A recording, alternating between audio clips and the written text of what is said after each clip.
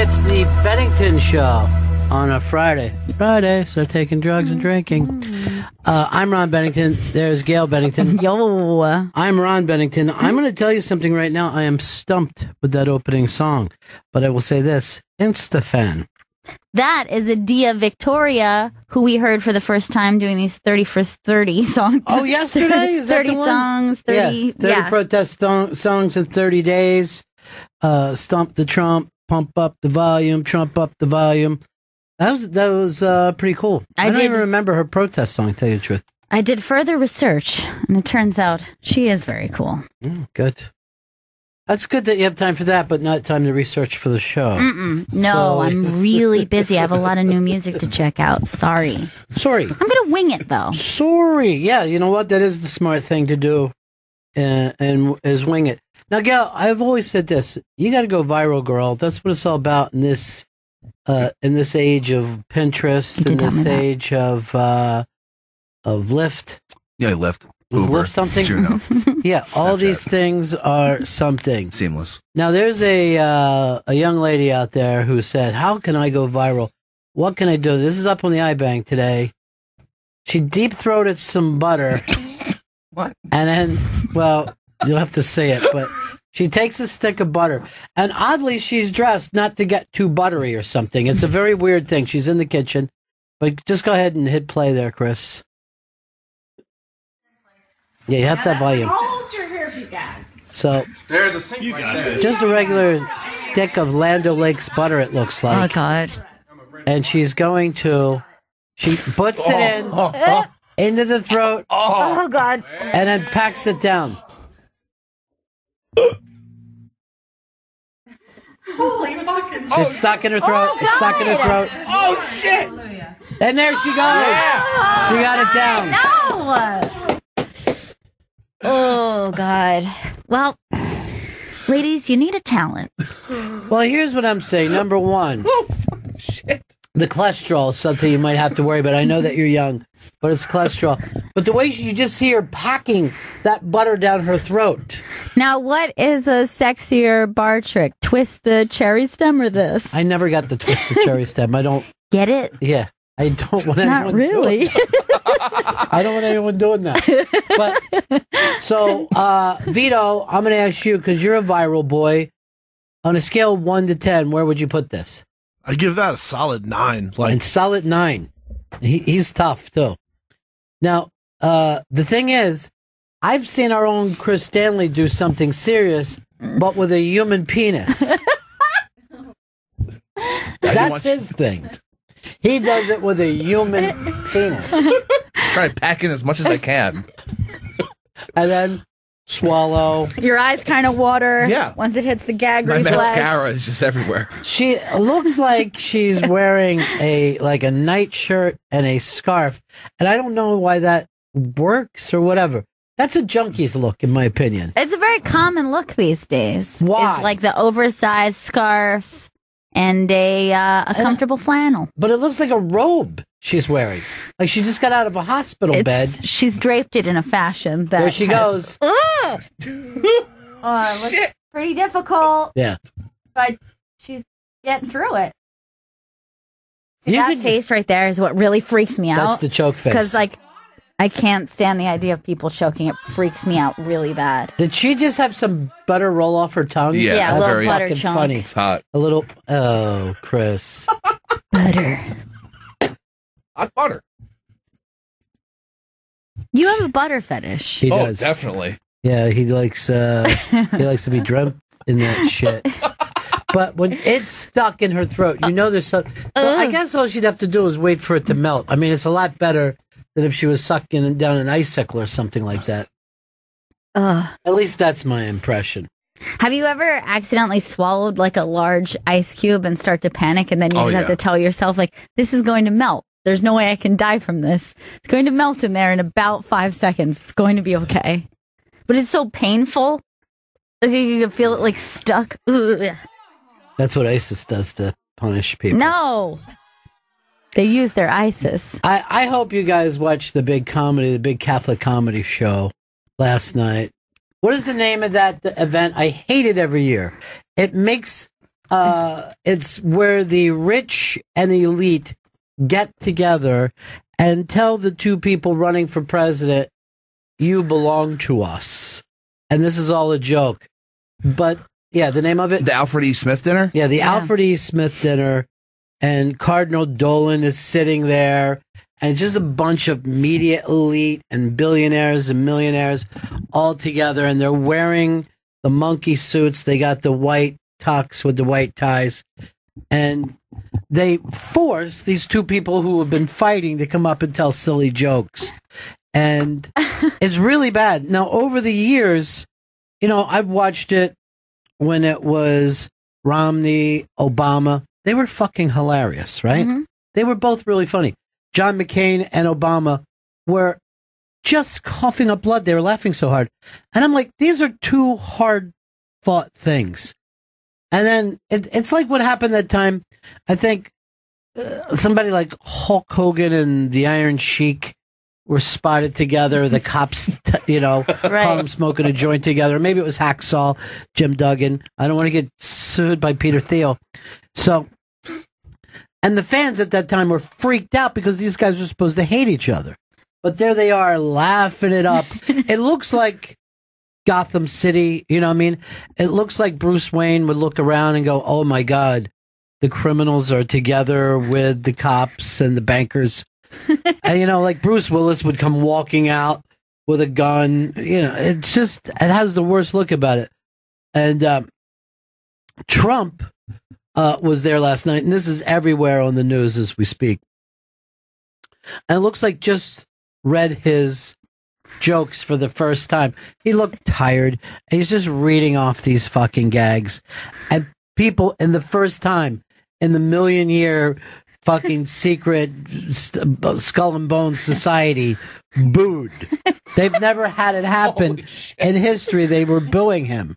Now, I didn't see the whole thing, but I watched I watched his bit of it. So I have no idea how well or how, you know, how like unimpressive Hillary is, but this is exactly what happens with him. He tends to dominate the news for better or for worse. So Well, I have no idea about anything she said. Well, first of all, there's never a better. Uh, it's only for worse that he dominates the news.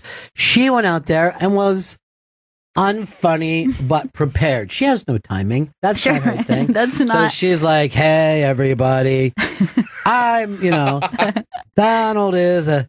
So then Donald gets up there and he's just reading through it. He's like, uh, "It's just disgusting." Uh, I'm not, and he's just like this. I'm not saying Hillary Clinton's a cunt, but she definitely licks it. All right, what else? What else we got? All right, this whore bitch uh, probably ends up scratching Bill's balls while he's banging a hooker. Boo! Uh, maybe this one. Maybe this would have go over better. He was like the clown from The Simpsons. That's what his delivery was like. Krusty. like he should have had just tie wide open. and um, like there was a cu- he had a joke that was so funny, and it worked, and it looked like he was going to get into it. He goes, "You know, I'm not saying there's media bias uh, against us, but." Uh, Michelle Obama does the speech, and everybody in the media thinks it's the greatest thing in ever. And then my wife does the exact same speech, uh, you know, and that's a fucking funny joke. That's a funny joke. But these are written for him. Right. And he literally, literally at one point he's doing one, he goes like this. All right, that's corny. That's, uh, I heard that. that's stupid. Hello. And then he goes right? over- he right, goes- folks? All right, this one's going to get me in trouble, but not with Hillary. You'll, with, oh, you'll see. And, uh, you know, the Cardinal is there and just, he's all fucking red faced like he's an old crazy drunk. And he's just drinking a big goblet of blood while he's rubbing a little boy's head like it was a cat on his lap. It's just the weirdest night ever. Entertain me. Yeah, it's the weirdest night ever. Just a bunch of red faced Mick fire, uh, you know, chiefs and commissioners, and there's governors there. It just looks fucking terrible. They uh, they can't. Why would they put this on TV if they wanted to do their secret, super secret night? Just yeah, stop it should it. have nothing to do with the rest of us. neither one of them wanted to be there. Dolan was sitting in between Trump and Hillary, and he just should have. He's the puppet master. He should have just had strings making them both dance back and forth. He's the puppet. She's a puppet. And then he went to Mexico and he choked. All right, this uh, is something that was written to us about our own Chris Stanley. Hicks likes to deep throat that butter and then swallows a roll after. Hmm. That sounds pretty good. Delicious. Anyway, this is a nightmare of a night. I just hate the two party system. It stinks. It's just a bunch of fucking scumbags scumbagging it up all night. Just that it, it really did look like they should have been wearing those uh, those little masks on a stick and then fucking just banging each other all over the floor. Bum bum bum bum bum bum bum bum. Disgusting. But you know, Obama went there, slayed. Like I said, Mitt Romney killed it. Yeah. John McCain killed it. George W. Bush has murdered it. Bill Clinton, of course, did really well. And then these two stiffs didn't show up last night. There's not a lot of charm there No. between the two of them. No charm at all. These look. Uh, supposedly Donald Trump has a all the money in the world, except for the fact that he has a piece of coal for a heart. There's just this dark place in his chest, and then Hillary looks like she enjoys zero, if it's not like. Did you ever meet like the smart girl at school? Yeah. and then you're like, we're having a party. If you like to come, and she doesn't even comprehend what you're talking about. She's like, oh, you mean a study group? And you're like, no, no, no, no. We're gonna get fucking whacked out and kill our brain cells. And she's like, I uh, should I bring a pencil, a notebook? you're like, we're trying to fucking invite you in. That's Hillary. She's just doesn't enjoy. no. She enjoys hard work. She does. Which sounds, I mean, that sounds presidential and it's, Eh, We want a president, and this has been said for years. We want a president we could eat butterscotch pudding with. We just want a president that we could lay on the floor and watch cartoons. I don't. I don't think I do. You just want the girl to win, as always. That's what this is about. You can't. You're looking at uh, Hillary as if she was something else. But if they said to her, "You can win this election," uh, election, you just got to walk in there and just coldly shoot every man, a member of the Bennington show. And she wouldn't even think about it. She would just walk in here and just start to shoot us I, down. I don't doubt that at all.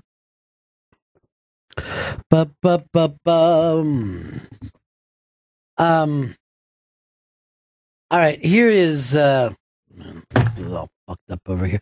Who puts this together? No, Chris, go sit back down. If you don't care before the show, don't care during. Here's uh, Matt. Matt in Atlanta. Hey guys, the best part of that speech last night was Maria Bartiromo just right in the corner of the screen, playing with her white gloves, playing with her phone, showing off some nice cleavage. Well, she was the cleavage monster. She's right behind everybody's head, and she's leaning over, and the jugs are just exposed. But what killed me is that her white gloves were so baggy, it looked like she was going to do the dishes in the 1960s. They were just, they did not look like evening wear. They looked like I'm going to put this on and stick my hand in the trash compactor. And she was throwing me off all night. Uh, why that was happening, the PG Weird uh, Rocky Horror Picture Show was Yes. going on, where we tried to take the rock out of the Rocky Horror Picture Show. I don't know what that singing was. Yeah, it was. They did. Um, I guess they must have said, "Okay, we want to change some things. The things will change." Mostly was the music. Mostly that's what they changed. They did like word for word of the script, Mhm. but then the music was very poppy and the Dull. cast was very pretty. It was a very pretty cast. And part of what's great about that film is like just like the grittiness of it all. It- and it's it's hard to do that with. It's 70s rock and roll sex, is Yeah. what that whole thing is about. In those days, people thought of it as, hey, let's go out and bang in the alley and then fucking do this heroin and sleep for eight hours. This thing lasted. The fact that you could have a real transvestite and have her b- be worse at being a transvestite than the guy who The was tra- performing. yeah. Um, what is her name? Shit. Uh, I'll never need to hear it again.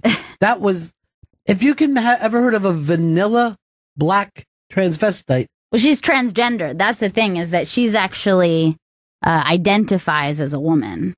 and he didn't. No, so like uh, the character of Frank-N-Furter is like a man who dresses as a woman. Why did they blow that then? I don't know. I think that Because they she was to. vanilla. There was nothing sexual about her at all. yeah, she's very pretty, and she's like um she's one of the stars of Orange Is the New Black. Laverne Cox. Laverne Cox is her name.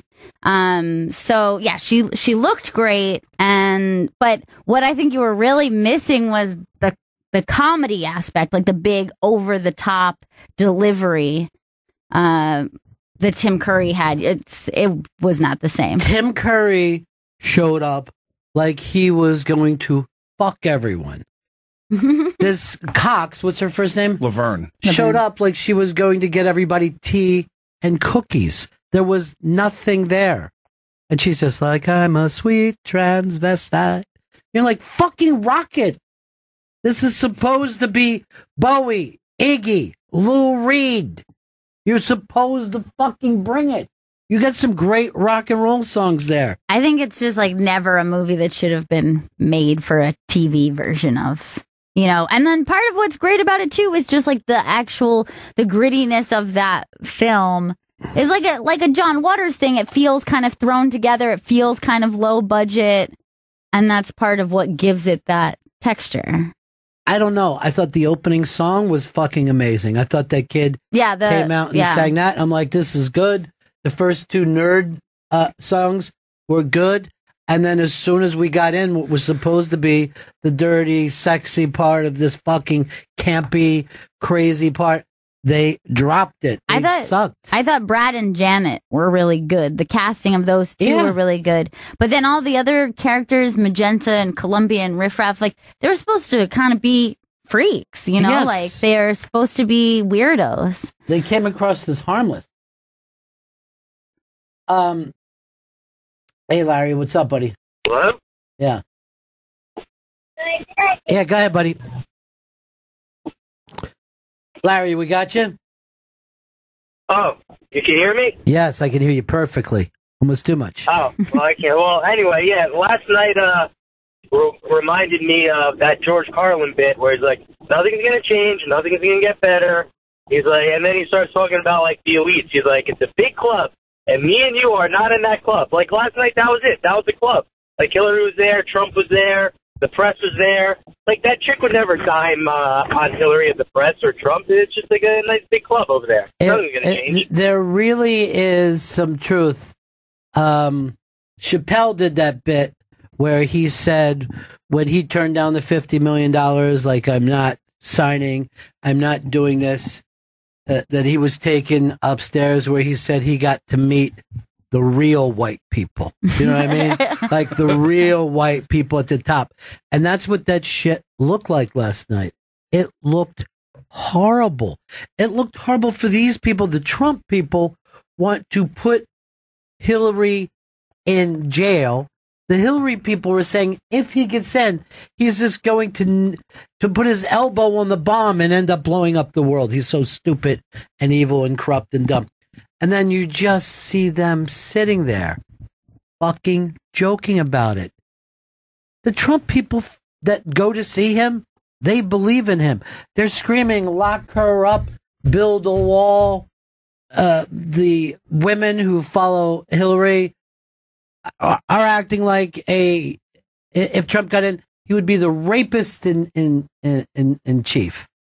And then you just see the two of them, all but fucking smoking cigars and drinking uh, scotch. in front of a large fireplace that they're throwing fucking toddlers into to warm themselves.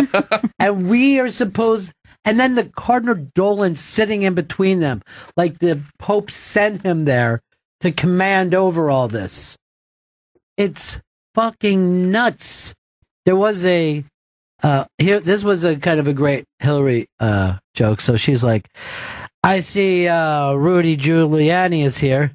Uh, Rudy, you know, not a lot of people know this got his start as a prosecutor, where he went out and prosecuted tax evaders. Uh, now he just goes on Fox News and calls them a genius. and they go over to Rudy, and he's sitting there, and his glasses are kind of fucked up, and he's just staring at her with this almost a pre-stroke tinge to him. Like he's so fucking pissed. He's like, I'm not getting into the White House. I can't fucking believe this happened. I've been running around like a maniac. See if you can find. Uh, I think the Daily News had the look on his face. By the way, she didn't bring Bill last night, which I find to be just the fucking funniest. They have, they have, they've got him in a dog cage somewhere down until this thing is over before they let them out. It's like, don't let them know we have a giant fucking Saint Bernard. You're gonna fuck this up for You're me. gonna fuck this up again, Bill. Like you fuck up everything. It was it was fucking horrific, but it was still better than that um, Rocky Horror last night. I watched that instead. Will you watch Rocky Horror? I did, yeah. And then watched clips from that. You know what was? Uh, Look at how displeased look how was. just his glasses are moved, and, and he, his skin has the color of blood that is not flowing whatsoever. Uh, I've done everything for this fucking trip. Look at him. That is the way. Look at his mouth. It's like he wants to throw a brick.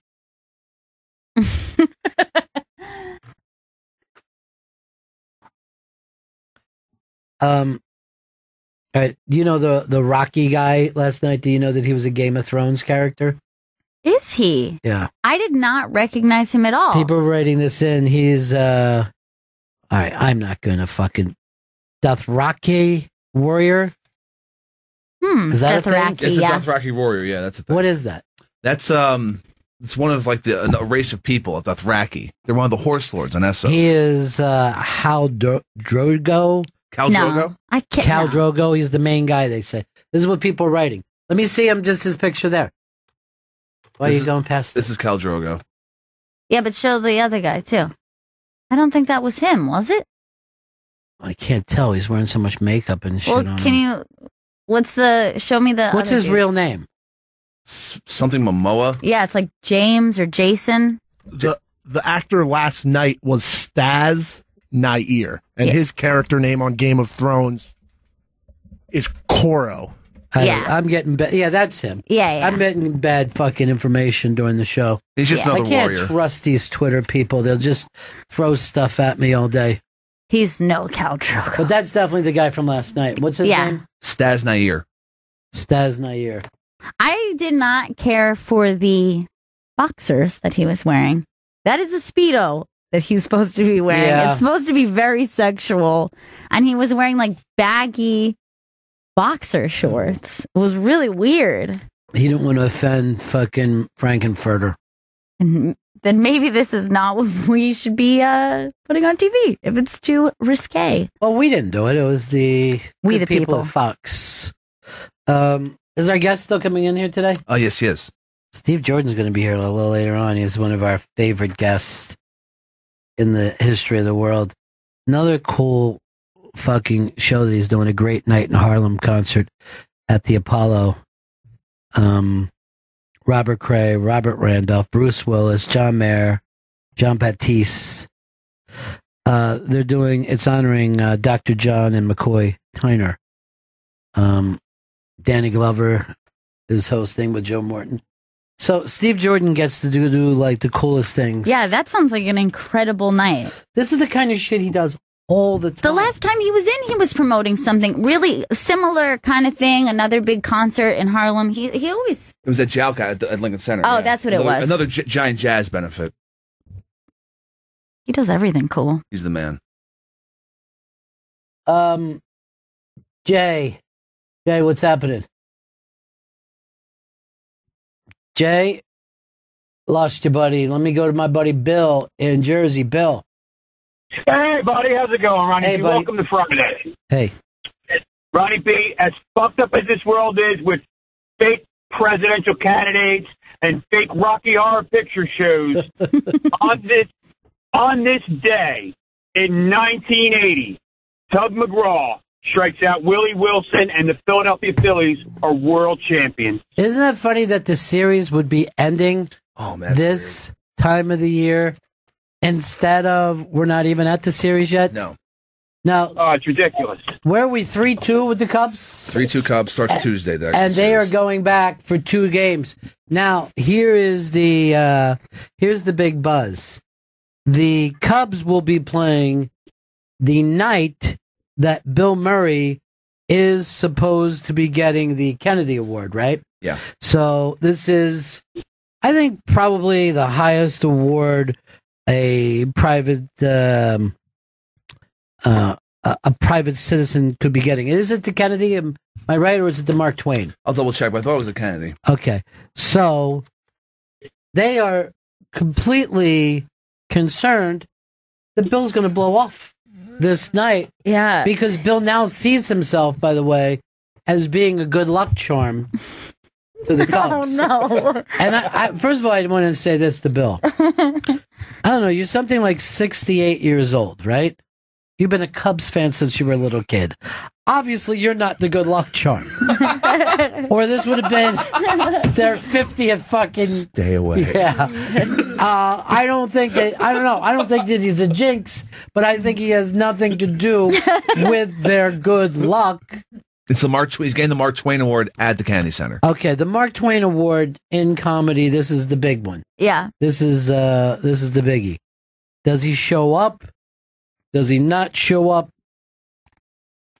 Uh, I think he he might. Sh- I don't know. It's so difficult because even if you didn't have this as another factor, he already is just like a tumbleweed blowing in the breeze. he like might not show up anyway. Maybe just he'll like- show up on an old fashioned transistor radio with an earbud and he's just yelling shit out. Where does he go? And what would you re- re- respect more? He goes to pick up his award or he goes to the Cubs game? Going to the Cubs game. Vito. I think he shows up to the Kennedy Center, but like in a Cubs hat. And he's like, hey guys, I'm still there in my heart. No, that's That weak. doesn't make you a That's fan. fucking weak. What What about full uniform? He does shit like that all the that time. That seems like it's more even more likely than a hat. All right, my uh, bet is that he's at his kid's restaurant serving out shots to people, Cool. forgetting that there's a Cubs game on or an award that he's supposed to be getting. and then everyone tweets out, He's my spirit animal. Love Bill Murray. I'd love to party with that dude. Squad goals. Look, he's already got the Mark Twain Award. They're giving it to him. He has it already. So you, Just go to the game. He doesn't know what's going to here's happen the in the deal. game. If the Cubs do the right thing and win game six, game seven's open. Uh, you know, there is no game seven. He can go and pick it up Sunday night. So if they drop game six, which I'm praying for now, to force this thing. um, but a Cubs Indian series, the battle of the two losingest It's going to be great. I mean, is there anybody that's more pathetic over the years than those two franchises? I don't mean that even in a mean way. But, but it is. It's terrible. Yeah. Their franchises are bad franchises. Yes, I'm saying these are the worst in history. I mean, I would have thrown the old Expos in there, but now they're the Nationals, so they've been kind of put out of their. I mean, they've got to be the worst. I mean, these these are two of the oldest teams that we have too. Yeah. Cubs haven't been in the World Series since 1945. Like that's there's how many teams in the MLB right now were made after 1945? Most. Most in the and seriously in 1945, if you went out to play in the West Coast, it was St. Louis. That's as far west as the league went. Beyond that, there was Indians, and from what I understand, a gold rush of sort, and a saloon town where you can shoot people and then rape the farmer's daughter and get away with it. Hmm, go west, young man. They're all robots. But Chris has an interesting theory from Reddit. Hey, did you see like Reddit was attacked by hackers today? Twitter, it was a Yeah, I heard. Yeah, and, like Spotify, a bunch of places went down for like uh, like early this morning. Russians. I believe Russians. Yeah, there's a lot of hackers in like Eastern Europe, like like old like Soviet bloc and Mhm. at Russia itself. That's, that's all they do. Just- I saw the movie Triple X. I know how that shit goes down. oh yeah, it's some tiny little town. They got an internet connection. They're just hacking away, Internet town? Like tiny little town, and they have an Oh. internet connection. I thought you said internet town. I'm like, huh. Be an It's, uh, interesting place to move. It's a physical space. As far as I can tell, I've seen hackers. It seems like the internet is a place you go. Yeah, where there's like equations floating around Yeah. in space. You, you joke, but I'm so proud of my Hack the Planet tattoo that I got after seeing that movie. Badass. Crash and burn, baby. Charlie Sheen wants to throw out the opening uh, pitch because he's an attention whore. Um, somehow we're si- he's another one that we're supposed to pay attention to any nutty thing that he does. He's like, I'm not in the news right now. Notice a lot of these big stories have died down. I played a Cleveland Indian How many years ago? Twenty five. at least. Yeah, I think more. Think more. Let Corbin Bernsen. I don't know whether to get into. I know uh, Vito has one of his Vito questions today. the fact that we got Steve Jordan coming in here and we're all excited. uh, there's a Bert Kreischer Unmasked. Even though we don't promote it or talk about it, it's something we're really proud of. Bert Kreischer Unmasked. Go to the interrobang.com for uh, tickets. The interrobang.com to pick up tickets. I believe it's going to be one of the greatest mass we've ever done. I know it is. I am so excited about this one. It's happening next Tuesday, October 25th at 5 p.m. at the Sirius XM studios, interrobang.com for a chance of free tickets. All right, you had a question you honestly wanted to ask us. All right. So, when a fish is swimming, do you think? Let's just leave it at, at that. When a fish is swimming, do you think any of us have any idea where he's going with this? Uh uh No.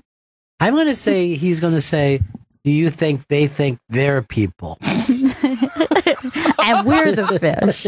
yes, yes. That brings or up a whole other would they eat us the way we eat them? And do you think?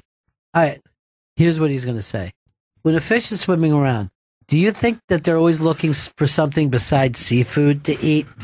They're like, is there any steak or just a poultry? Even would be great. Could a fish be allergic to fish? When a fish is swimming, Yes. do you think it's aware that it's in water?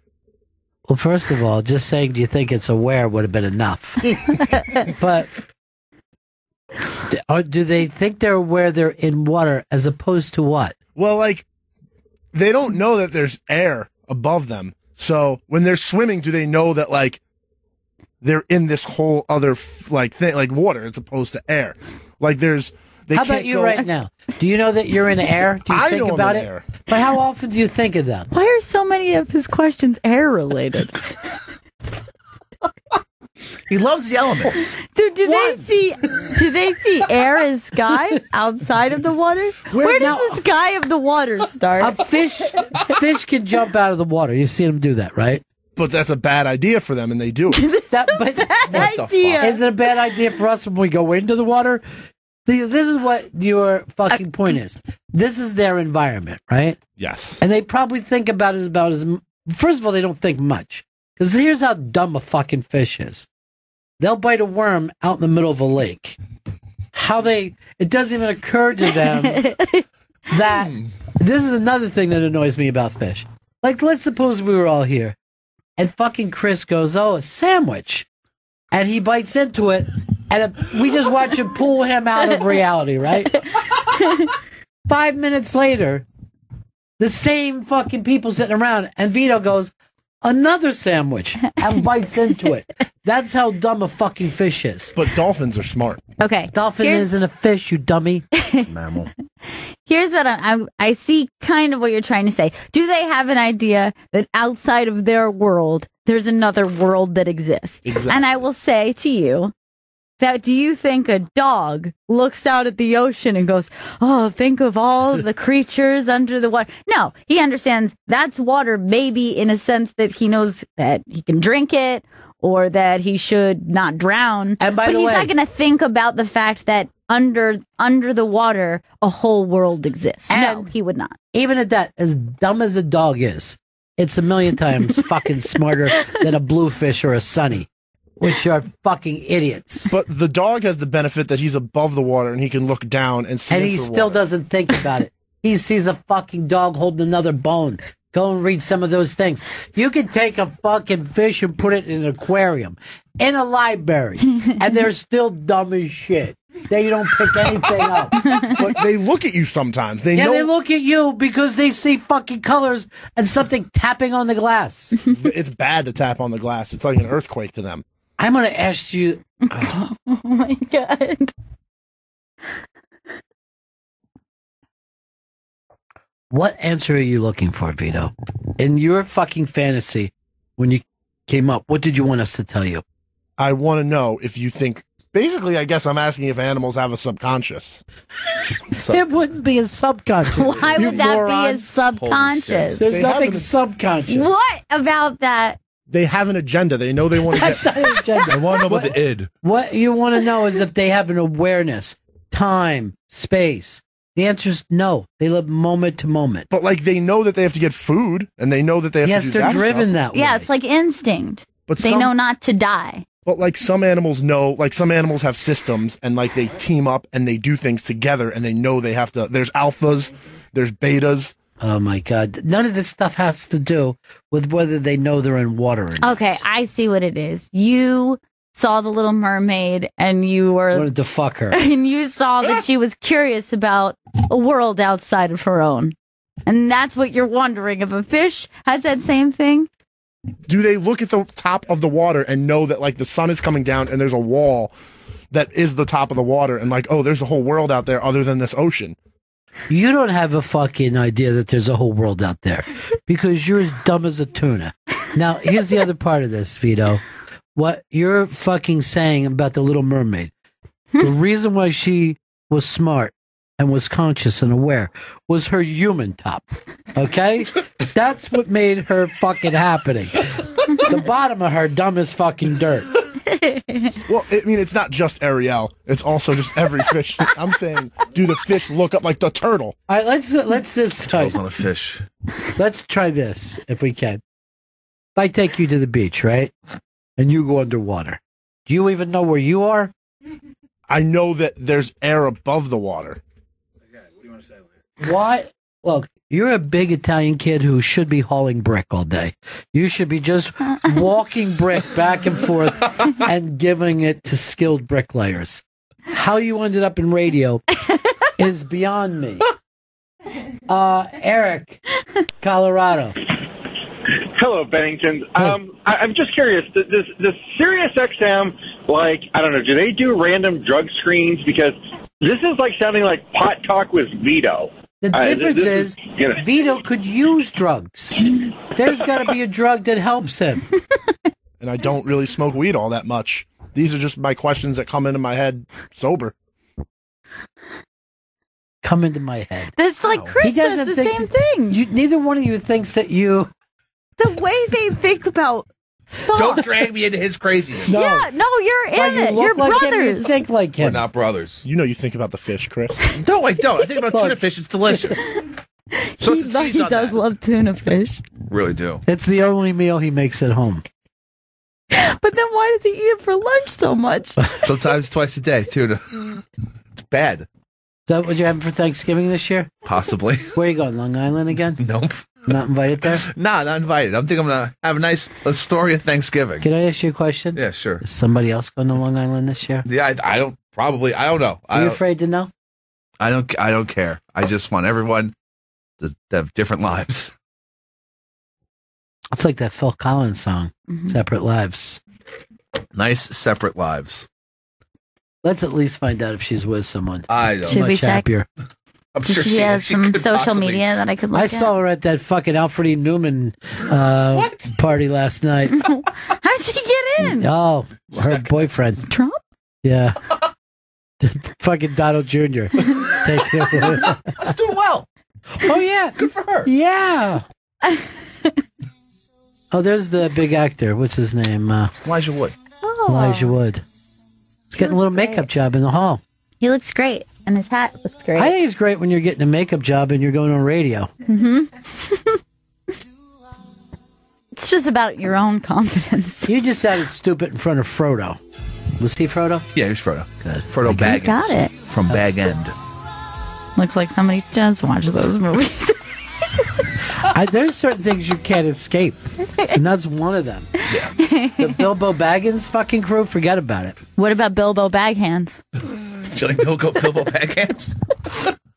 What happened with that? I thought you were going to run with it. I think I feel I feel him coming back. Hey, who's our intern today? Marcus Hook. Tell him I want to arm him with a gun and shoot you in the back of the head. Say the last thing I want is for you to know it's coming. Sometimes thoughts come into my head.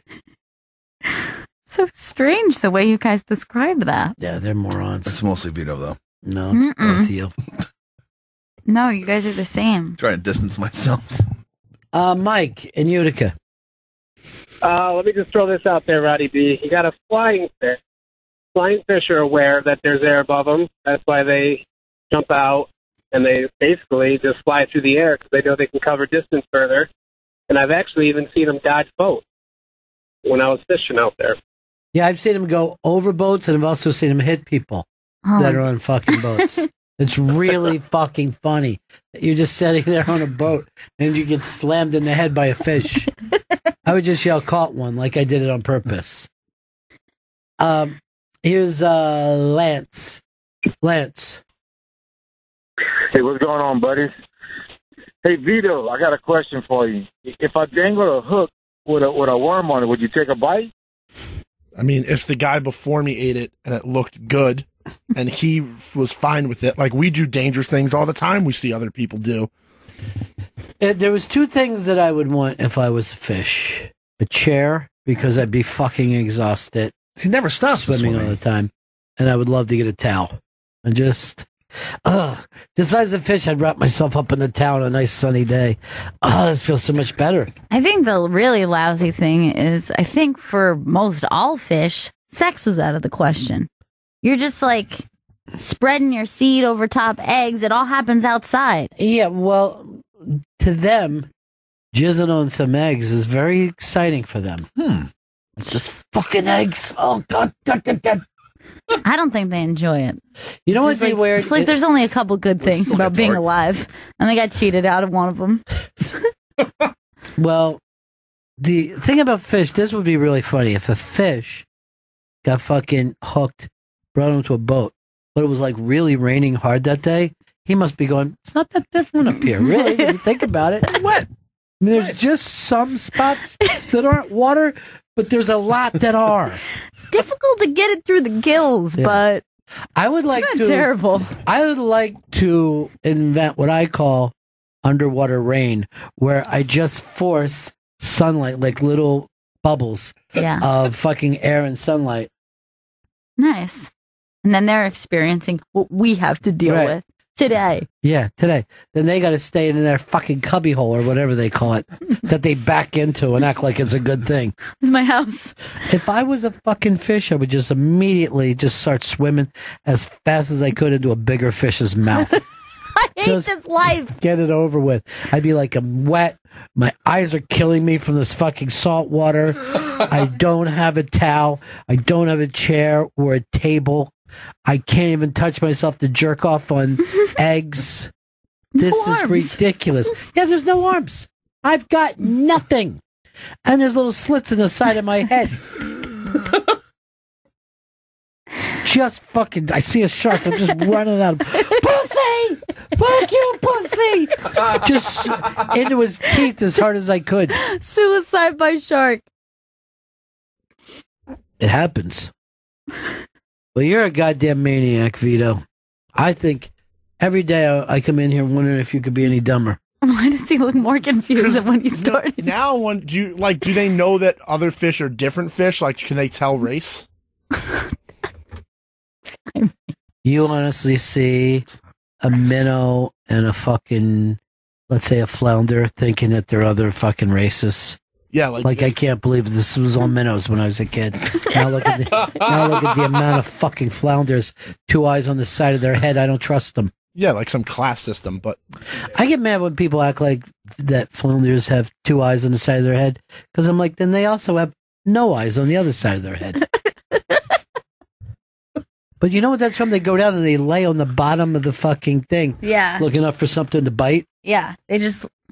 Ugh. Fish are weird. I think they started with an eye on each side, and then from laying down in the sand so much, it just moved their eye over. I despise a fucking fish. I would rather be a them. subway rat any day. Oh, me Before I was the prettiest fucking fish ever. like I have this weird sensation like if you're walking through a pet store and there's like a lot of uh aquariums and there's just like a lot of fish around, I just feel like uncomfortable. Like I just right to. feel like they're gonna flop out. I think that's what it is that really freaks me out. It's like the fish out of water, like the way they look. Yeah, they're, they're in a paddock. I don't like that. They're in a fucking paddock. They can't even breathe properly. because they never expected because they didn't know it was outside the water. Not that whether they expected it or not. Like if I shoved you underwater, you wouldn't be under breathe.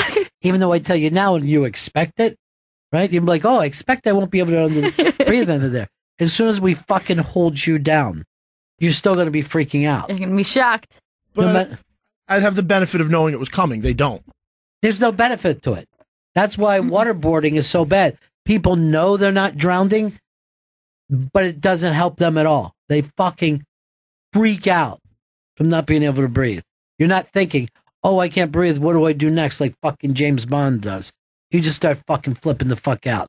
Do the fish when they're? Fl- I've never seen a fish out of water. Do they try to flip back off the side of the boat and get back in the water? Yes, they do. You know that that's what fish do. They just keep flipping until they hit the water. So they But know here's that- the thing.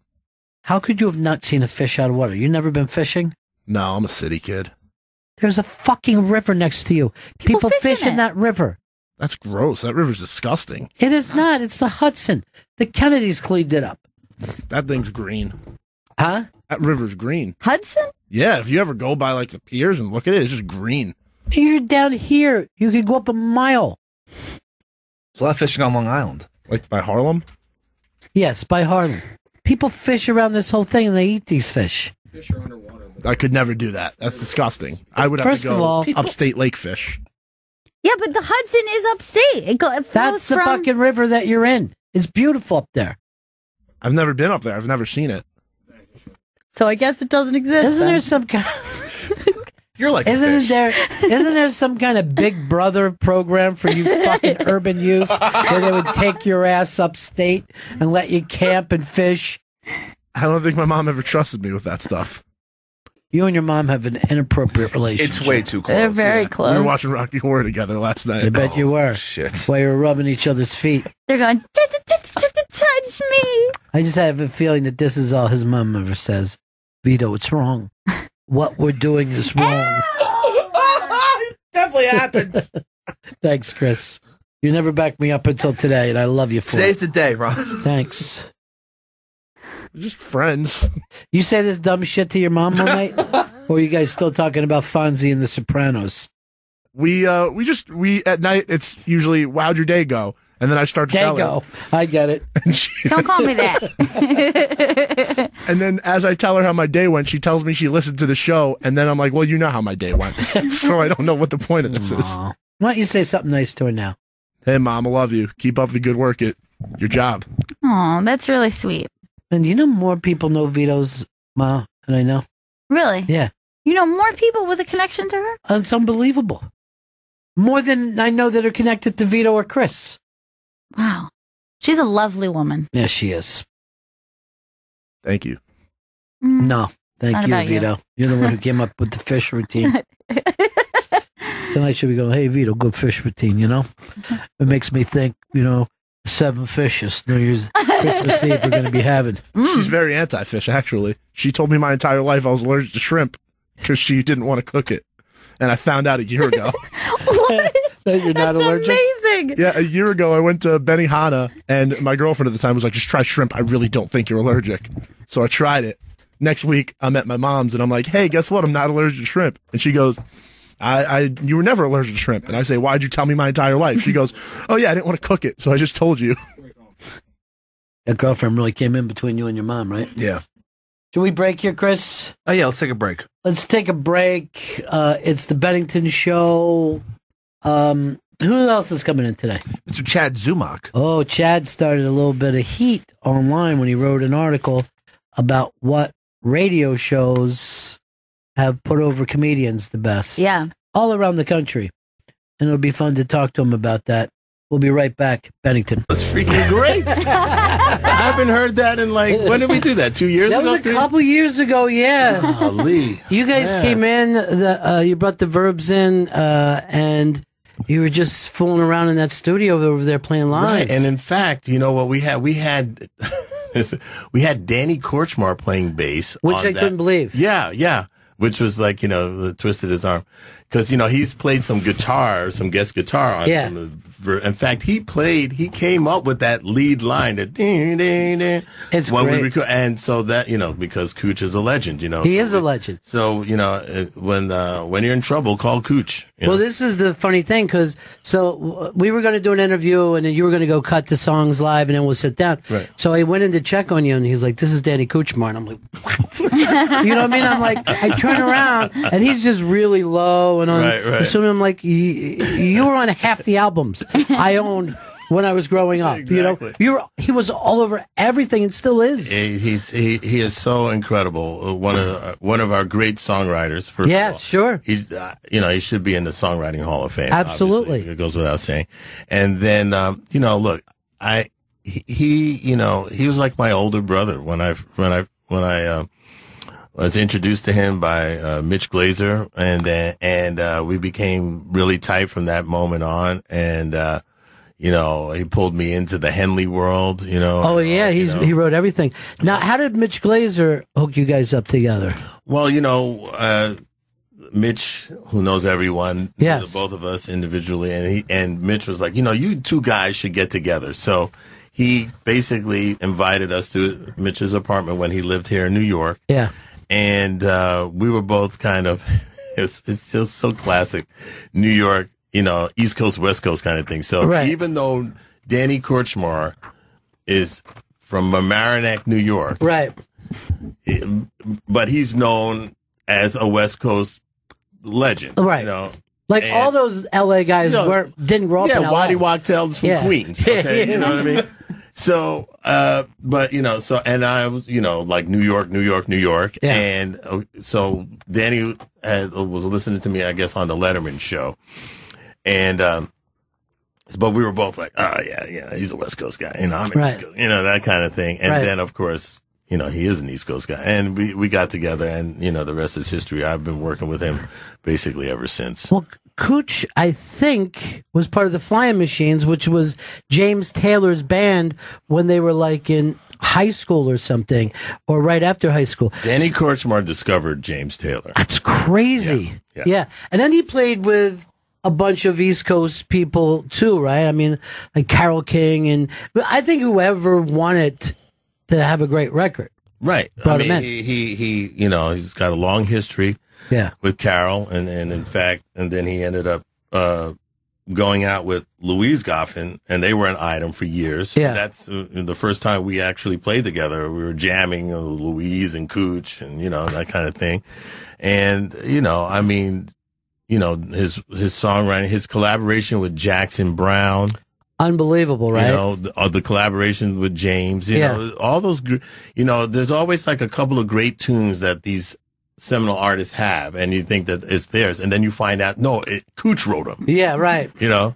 So like, uh, uh, I can't even remember some of the songs right now, of course, because I'm a Shaky Town he wrote with Shaky him. Town, there you and go. a bunch of uh, the Henley stuff and and maybe even some of the Ronstadt stuff because I know he was involved with that. I don't think he wrote any Ronstadt stuff, but he did write some stuff with James. Uh, "Honey, Don't Leave L.A." is, Right. is, is a Cooch song. It- that's a, which is a great song. It's a great song. Which, by the way, this goes to show why we need Steve Jordan doing a radio show. Because I'm going to do one. You've got to. I'm I'm I'm doing one. Uh, uh, we're going to start in the new year.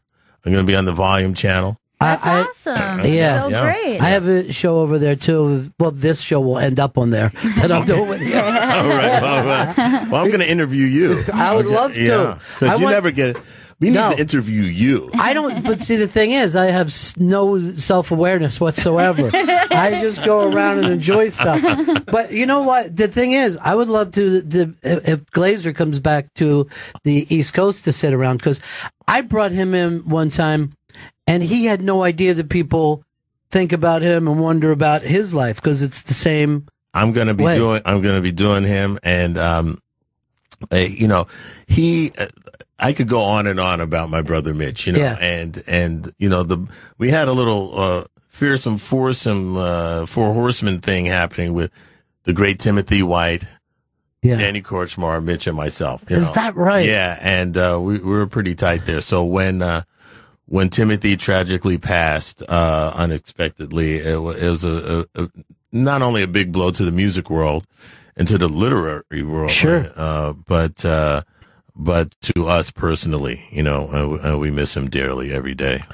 That uh, uh, do you know that there's that saying that real recognizes real, but it's always weird to find out how true that is. Yeah. The people that are just able. To me, it's always why the producers are always like the most interesting because they wander from world to world. Right. You know, like they live um, sometimes a much more interesting life than if your band took off when you were 22 and you're still doing it You know, many the- years later. a, a, a very good point. You know, um, I have, you know, look with the verbs, you know, this is finally a dream come true for me to, to not only, uh, be in a great band and, and to, to work with such a great songwriter like Meegan Voss and, and then be lucky enough to marry her at the same time. it was unbelievable. But, you know, it's kind of like if you're, if you're like Keith, right? Mm-hmm. And you've been in like one of the greatest bands of all time when you were like 18 years old, that's all you know. Right. And when I, at a certain point, when I was, became like a studio musician, when I worked to get to a certain point, I, my motto was I wanted to work with everyone I could.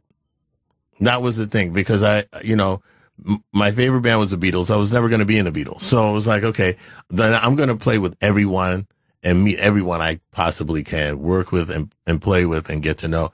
And so I've been very fortunate in that way to have played with all these amazing people, you know. So there's your, there's your yin and yang, you know. Yeah. You know, so this, this is, I, I, I got the other route. So But it's nice to know some of these projects start and end, where like if you're in the Stones, you constantly have to hold that thing up for decade after decade after decade. yeah, yeah. Well, Keith has some strong shoulders. Yeah. Yeah. But I think anyone who uh, is a collaborator, first and foremost, to me, those are are true artists, and you can say that across the board because they're people who continue to kind of experience it in a new way. It never turns in on itself. You're always working outward. Well, the the one thing that I I agree, and the, and the the thing that uh, keeps me going is I'm a I'm such a fan of all these people that I end up working with. So, um, uh, that's what keeps it exciting for me. Uh, Yeah. I'm so fortunate, you know. Like I I didn't know that when I was eight years old, watching the Ed Sullivan show. That I was going to end up writing songs with Keith Richards. I did. Who who would have who would have Right. thunk it? Yeah. Who You gets know? to do that? Yeah. Well, this sets this up because I always have this going on in my head. Who ends up having more fun doing these events? It's either you or Nile Rodgers, but between the two of you, you are always involved with these amazing one night shows Right. that go on, and you got one coming up. Uh, the 15th annual A Great Night in Harlem, and you got fantastic people Yeah. to play with that night. It's it's a, it's an incredible event. First of all, the organization itself is amazing. The Jazz Foundation of America uh, I, I, you know, Meegan and I are now the directors of special events, uh, for the foundation. And, um, it, it's, it's a foundation that does so much. It not only takes care of musicians in need, but it also, it, it, it provides all of this health care, um, uh, provides, you know, jobs for people. We have a lot of different cases all over the country. And, and the, the, the other thing is, is that, uh, like for instance, in, in Louisiana, we're, we're right now heading up a very, uh, special emergency fund drive for the Louisiana flood. Okay. Um, but this same organization was actually more effective than FEMA during Katrina. And so we have a very, uh, we, we have a strong team that goes down to, the, to these problem spots. We go down and we do whatever we can to help the people in, in that area. So for instance, you know that anybody who's a musician, when you have a studio in your home, where is it? It's in the basement or the first floor. Right. So with a flood, okay, guess what? You know, all your gear is gone. So we're replacing instruments. We're actually, uh, drying out homes and rebuilding them because, you know, you have to cut sheetrock out from like your knee down, you know, and rebuild homes. These people cannot relocate their mortgages on these homes. They can't just pick up and go. Yeah. So we're drying out homes, rebuilding homes, replacing instruments. We were able to partner up with Guitar Center down in Louisiana and Baton Rouge area, get some instruments. Uh, Guitar Center has also provided some instruments for to schools who've lost all their instruments. I mean, so it's been really fantastic. And the thing about this organization that really blew my mind when I started working with them, they were taking care of one of my best friends. All right. This guy was like a brother to me. I had no idea. Their level of discretion is so high. They don't go around saying, yeah, we just took care of this person and that person because everybody, nobody wants their business on the street. They just need help. Right. Right. They don't want to go around, you know, it, it's like, you know, so, so that's what they do. And that's why a lot of people don't know about this foundation. Uh, but we have some great board members and I, I won't name all of them, but there are a few key board members that are very active and that are, you know, very famous people. Dick Parsons is the head of our board. Quincy Jones, Danny Glover, uh, Mike and Sukey Novogratz, and we just added, uh, uh, Al Jarreau. We're going to add, Mhm. and, and, and, and, uh, these people are active. There's- They're not just there in name. You know, a lot of foundations, you know, you look at their, their list of, and all these amazing famous people. They don't even know. They just contribute some money, but they're not active Right. in, in the foundation. Dick Parsons' goal when I first met with him, he said, look, I- our, our goal is to make this foundation an institution. And he's right. And that's what we're trying to do here because we help a lot of people, a lot of household names that I will not mention. But you would say if I, if I mentioned, uh, they would, you would go, really? Yeah. Really? You know, like a couple of people who have allowed us to mention their uh, names uh, over the years, but we've helped people like Odetta, Abbey Lincoln, you know, the great Clark Terry, uh, and, and, uh, you know, just to name a few, but really just legends and people that without these people, we wouldn't have the music. Right. This because they provided like the soundtrack to our lives. Right. This is the heartbeat too for American music. Exactly. You know? Exactly. And, you know, so rock and roll we know is, is born out of gospel, blues, and jazz. You know, Yeah. so it, you know when we say the Jazz Foundation of America, we'd love to call it the Jazz and Blues Foundation of Yeah. America, or the, or the Jazz and Everything Else Foundation. But this is the name for now until we can legally change. The the weird thing too is, is of, of working on this is that our American music came out of floodwater areas. You know what I mean? Like for some reason. Right. That water has something to do. No one can understand it to this day. Good point. That's a but good point. anything that came up good came up good along that river and traveled up and down and changed. It's amazing. You know, it's really funny. I'm making this documentary on the great Willie Mitchell, Mhm. who, you know, produced and wrote and engineered all the Al Green stuff and Yeah. on Hi Records. And, uh, I interviewed him before he passed and I said, well, where are you from, Willie? And he said, I'm from Mississippi. We're all from Mississippi. Yeah. So, yeah, you got There's a there, you lot know. of there's a lot of truth to that, man. Exactly. There's a lot of truth to that. And some of those guys, it's like they had nothing to even play with. Like when I talked to Buddy Guy and he had like a coffee can and a stick and you know, try a wire and tried to make a guitar. You're like, But- how's that happen? Buddy guy said in Lightning in a Bottle. You Yeah. said he took the screen, one of the wires up from the Right. screen door of his house, of his of his parents' home. Yeah. And started to to make guitar until you know until there were too many wires missing. And his mom was like, "Yeah, how these bug, how these mosquitoes Yeah. getting in here?" You know, yeah. That's amazing. All right, let's talk about the show. Listen to this lineup that they put together here.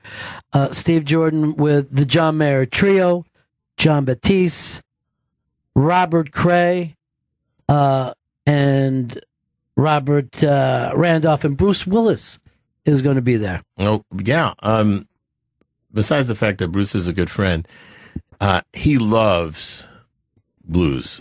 And you know that, you know, he took on the, Yeah, the Bruno. Bruno and Yeah. the whole thing. And, and, uh, he's a champion of the foundation. And so anytime I ask him, Hey, can you help us out or can you appear here? He's, uh, he's more than willing and he's shooting a film at the moment and he is actually has worked out taking the day off Wow. from his film shoot up in Canada to fly down to, to do this event. So we're, we're, Because we're- jamming is what he'd rather Exactly. do. exactly. Yeah. So we're- we're very grateful, but this is a wonderful night. Uh, we have Dr. Michael White's, uh, band coming up from Louisiana, from the infected, uh, flooded areas. Um, with Thais Clark singing. And then, uh, we also have, you know, Bruno will be playing and there's kind of a little special band with him. And joining him will be the great Henry Gray, the pianist who played on a lot of Howlin' Wolf Yeah. and, Muddy, and, and Muddy Waters. And he's from the flood area and we're bringing him up. He's 92 years old. He's amazing. And he'll be playing with Bruce along with Doug Hamlin and some other special guests.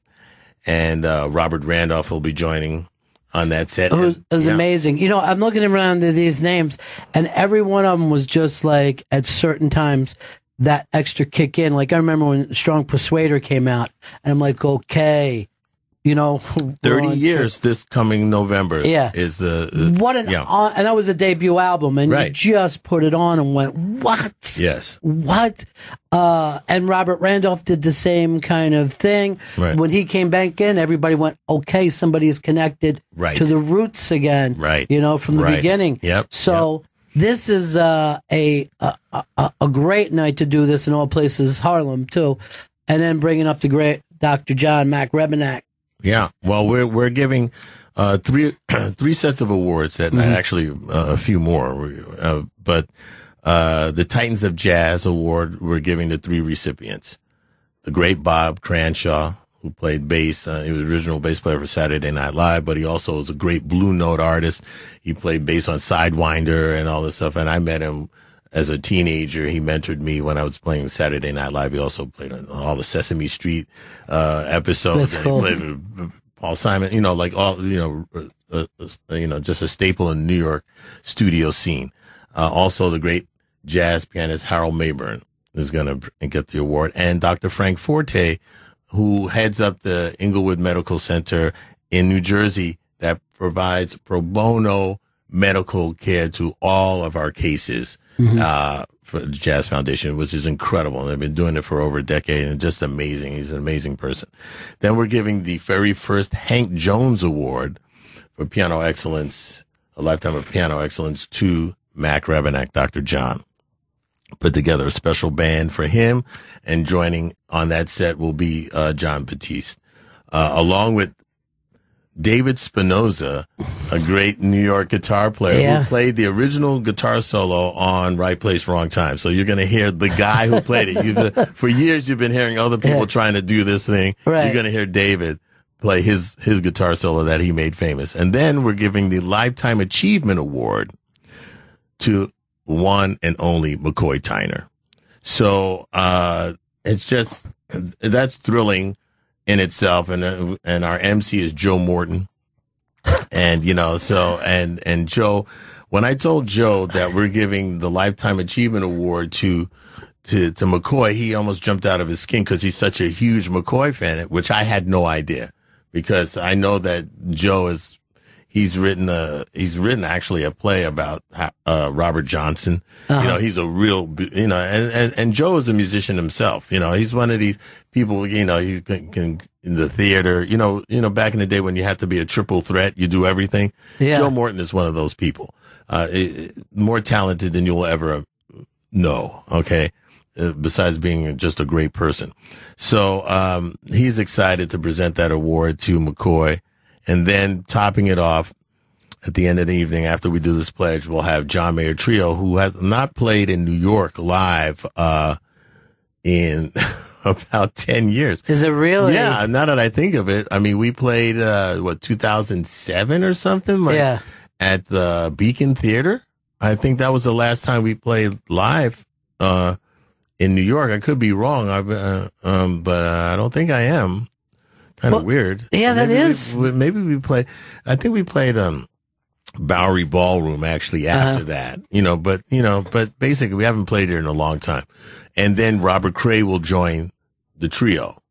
And, you know, and we're going to end the night like that and then maybe a big finale at the end. That's so much fun, man. Yeah, You know, I was thinking when you were saying that that John Mayer now kind of lives your kind of lifestyle where he goes out and does a bunch of different things besides his Yeah, stuff. and and and uh, you know, and now I'm, we're trying to get him to. we're trying to finish.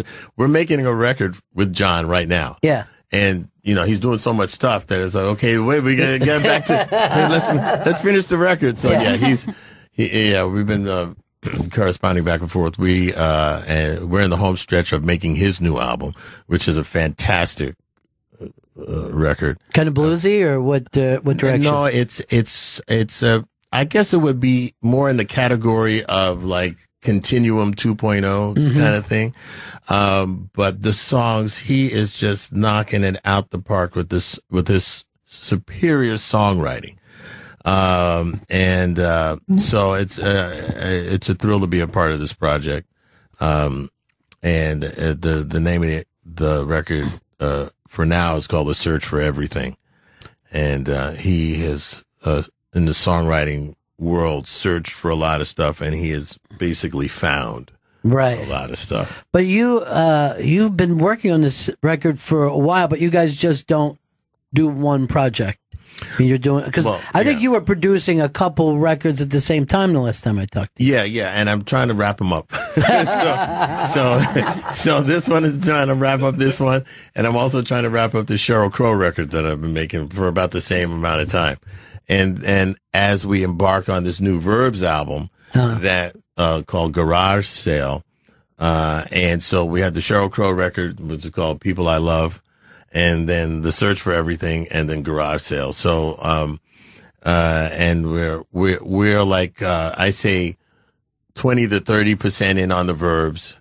We're about eighty five percent done with John, and we're about seventy five to eighty percent done with Sheryl. Yeah. Yeah. Well, the cool thing about all those records is it's stuff that you guys want to be doing. It's not like you're forced. Exactly. Like, oh, a record is due by a certain certain date, and it's got to sound like something. Knock on wood. Yeah. I'm so fortunate uh, Yeah. to work with not only great, great musicians, but they're great people. I Mm-hmm. mean, these are my friends. I get to work, go to, I don't go to work, you know? Yeah. You know, and, um, of course, needless to say, I'm the most excited about Garage Sale because Meegan is writing, she's on fire right now. And, uh, so this is a very raw rock and roll record.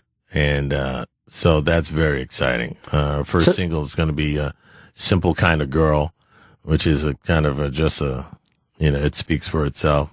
So she she writes, and you come back and help arrange, or how do you guys? yeah, I work mean, that way? when we first started in the verbs, we were very, we were writing a lot together. And then as most things go, if I'm out, you know, doing another project, rather, she, it's not going to stop her from writing. So Mhm. then I'd come back and like there'd be like five incredible songs done. And, uh, you know, I said, well, I'm not going to mess those up. I mean, they're done. Right. What am I going to interject? Let's just record them. So, um, that's basically how it's been going. So, um, maybe I, I might have, we may have collaborated on maybe one or two songs, but basically it's all her and it's, it's, it's fantastic. And that's got to be a blast for you too, right? Uh, you're not. I mean, she's an artist, and you're, you know, sometimes a collaborator, but sometimes just a muse or just uh, a, yeah, yeah, and you know, look, and, you know, you, it's a it's a dream to to to wake up and and like you hear somebody playing a great song, they, Yeah. go like, "You just wrote that," you know, and yeah, you know, like wow, okay, can't wait to get my hands on that. Let's go in, let's record it. And uh, when we were living more in in in the city, we'd wake up and there'd be a great song, and then we just record it immediately. Yeah. Uh, but uh, with all the traveling that we've been doing, we can't really record as immediate as we had been. Uh, but uh, once these, like I said, uh, once this big show on the 27th is done and I can take a deep breath, we're going to go in hard and heavy and start really tracking for garage sale. Um, we have, like I said, about 30% of the, of the record done now, but can't wait to and who's everybody that's going to be on the, the new verbs? It's Well, it's going to be Tommy Okuda on Yeah. guitar. who is amazing, known uh, in his country. Yeah. is He's- Clapton. Yeah, I guess. exactly. Yeah. And uh, Willie Weeks on bass. Great. And Meegan and myself. That's it. And uh, you know, I uh, I am going to play bass on a couple of tunes. Cool. Yeah, yeah, because I got to play bass on a And what about with Keith? The uh, the winos is something that's always in the back of your mind. With Keith, he's got this other band. I don't know if you've heard of them. and uh, and uh, so they're always, just as we're about to do something, somebody always wants to go, oh, no, look, we got like a gig, you know. Yeah. So we're like, no, you can't play now because, Yeah. you know, we just booked a tour for the next 10 years. I know we were like going to break up, right? But no, we're not going to break up Yeah. because you're doing so well that we're going to keep touring. Yeah. You know, so that's, well, that's what happens. So every time we're about to do something, we can't. So that's the name of that tune. You know, uh, we always end up talking about this, and even though there's so many amazing musicians out there, it really does come back to the song. That That's the initial magic. So Gail and I always end up talking about the perfect song, like that song that's so perfect. What for you with the Stones is the perfect Stones song? That's a good question. Um, a perfect Stone song. Well, you know, for me, they they kind of the recording and the song kind of go together with, with the Stones for me. Uh, so recordings like well, first of all, the recording and the song "Satisfaction" is incredible. Okay, every time that record comes on, I lose my grip. I'm sorry. You know, I, I've been in stores with Keith when the song has come on and I go, I just, I turn into like a little eight year old when, I first heard it when he was on Ed Sullivan and I'm like, oh, you know, it's incredible. And, and, and the more you listen to it, like I remember being in a store one time and it was a stereo mix of it. So in the stereo mix, we, we were in an antique store, right? And, and I was closer to the left speaker. So all I heard was like the acoustic guitar on it, which people don't even think about. Yeah. There's acoustic guitar on this song, right? But it's an amazing acoustic guitar, just ching, ching, ching, ching, ching. And it's like ching, ching, ching, ching, ching. And then, so I'm like, wow, you know, I just heard the one side and it was like, wow, that's, that's amazing. And the, one of the most under, first of all, it's never played correctly by anyone. And it's one of the greatest bass lines is, is Bill's bass line on it. Yeah. Because it's not like what you think it is. And so there's that. And then of course the, the, the, the lead line, which is basically his version of a horn line, you know, uh, and through a maestro fuzz box, you know, and it's just a great record. And just to think that the guy dreamt it, you Yeah. know, it was like a dream. And then he woke up and he saw the cassette machine next to their bed. And he said, what's that? And the freaking satisfaction. song. I mean, come on. I mean, what are you doing with that? You know, so there's that. But I also love, there's a period of time where these two songs, uh, Jumpin' Jack Flash and Street Fighting Man Yeah. were just those two recordings and songs ruled my world for a good couple of years there. The recording of them and the songs themselves was just amazing. So those, are, yeah, I even think of like with a satisfaction because I remember the first time I heard the song Right. as well, and it was with my big sister and her friends, and this song came up, and this girl who was you know ten years older than me, nine years old me, got up and started dancing. Right, right. And I was like, I think my world just changed. I mean, it was, it was the exact same feeling as dropping acid. Right, right. There was a before who was me and an after who was me. Right. And I mean, I could picture that to that day. Right. But th- those kind of songs sometimes we forget because they're so ingrained that Yeah. we just take it for granted, like the sun. Yeah, that song in particular is almost like what I I, I can't remember a time that I didn't know it Right. because it was just so uh, prevalent part of culture, maybe in the house or you know, like that. Just to me sounds like music, like it's Yeah. like the definition, Like it's of music Yeah. itself. Right, Yeah. sure, sure. And that's the weird thing about Keith is he's the same way. He's been so good for so long. We're just like, yeah, Keith, right. Dylan, that's what they do. Right. You know I mean, what when, the, when Me- Meegan first saw Keith on Ed Sullivan, she said, "That's what I want to do." Not like, you know, I mean, she loved Diana Ross as well, but Right. but, but when she first saw Keith, from the haircut to the the whole thing, it was uh, that that's it, you know, right there. But when you brought up Diana Ross, it was the same thing, and it was Sullivan. And it, I, I kind of feel bad that people don't get that everybody sees it at the same time or hears it about the same time moment because when you're a kid and you've never seen something before, and those ladies came out to me, they were always the ladies, the Supremes. Right. I was just like, something like this exists. You know what I mean? Something this classy and light and floating exists. This is amazing. Well, that's why I've always wanted to try to, and I've, I've, I've gotten pushback over the years trying to get a variety show on the air because uh, I guess people, you know, the powers that be don't think that it will have the kind of numbers that it used to have back in the day.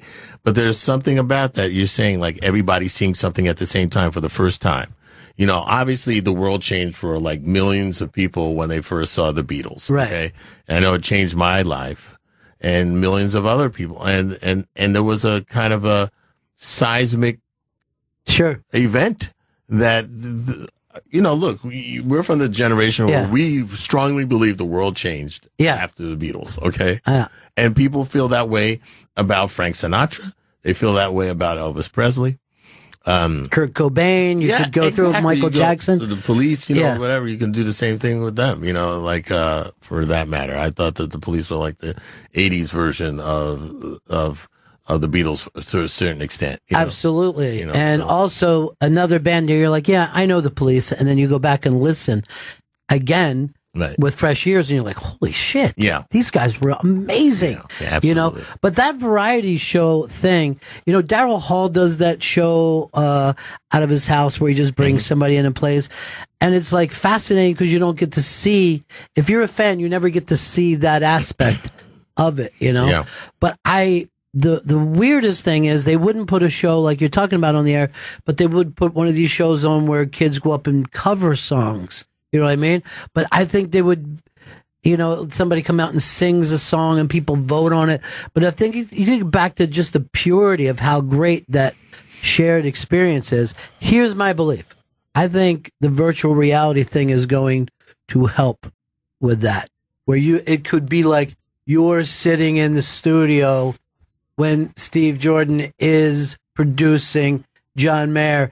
I think people are going to be in tune to a, in a whole new way. Uh, I really that- believe that. That's definitely going to happen. Yeah. And, uh, and that's going to be quite fascinating. Um, you know, getting back to this contest Mm-hmm. kind of thing that, of reality show slash contest, you know, my whole theory on that, and we could take hours on this, but, um, you know, you're talking about what you miss about a variety show, but now it's got to be something you vote on. Right. Um, which is unfortunate for the whole creative process. Uh, you know, uh, about 10 years ago, you know, or more when Idol came on, I, I, there was, that was a big red flag for me Mm. because, uh, it meant that only a few people were telling the public what it would take to, to be successful, which is antithetical to the creative process. And, and, and how one thinks and feels about art. Okay. So the crazy thing about that is, okay, so you have this contest. People are voting on it and you know, voting can be bizarre anyway because you're going to vote for your favorite person. Doesn't matter whether they're good or bad. You know, that's that. But the trials to get into round one, round two, whatever it takes to get to the finals. And then there would be a show where, okay, now we're going to dedicate this show to like Bruce Springsteen or Bob Dylan, and you got to do all of these Bob Dylan songs, or Bruce Springsteen songs. And, but wait a minute, if Bruce Springsteen or Bob Dylan or Tom Petty actually tried to get on this show, they Yeah. wouldn't get past the freaking first round. They wouldn't even get in. It's true. You know, so what the what is this about? This Yeah. is completely bogus. Okay, and so when you have, and, and it goes for all of these shows. You know, you're telling people this is what you need to do to be successful. So when I talk to kids and they want to know, well, how do you make it? How, you know, everybody wants to be famous. They don't want to be good. I said, look, you got to be good. If you work on your craft Yeah. and really work on it, me- you'll get famous, but you got to be good. Because if you just want to be famous, you, you might get lucky and you'll last for like your shelf life will be like two months. And then nobody will care about you and you'll never, you'll never, you'll never be heard from again. So this is the thing, the, the gutting of the creative process in this country, but it's not only just this country, it's everywhere because some of the, like the, the voice, uh, started in, Yeah. in Denmark or Holland or Yeah. wherever, you know, where, you know, so, and American Idol was like in England first or something, you know, so, uh, I guess it's the, the, the, the, the depletion of the, uh, uh, um, art form in the Western world right now. We have to really get the thing back. Luckily, things are cyclical. Yeah. So, uh, you know, just like vinyl is coming back, maybe the real creative process will. Well, I was li- like you said that uh, you know Petty wouldn't have gotten through.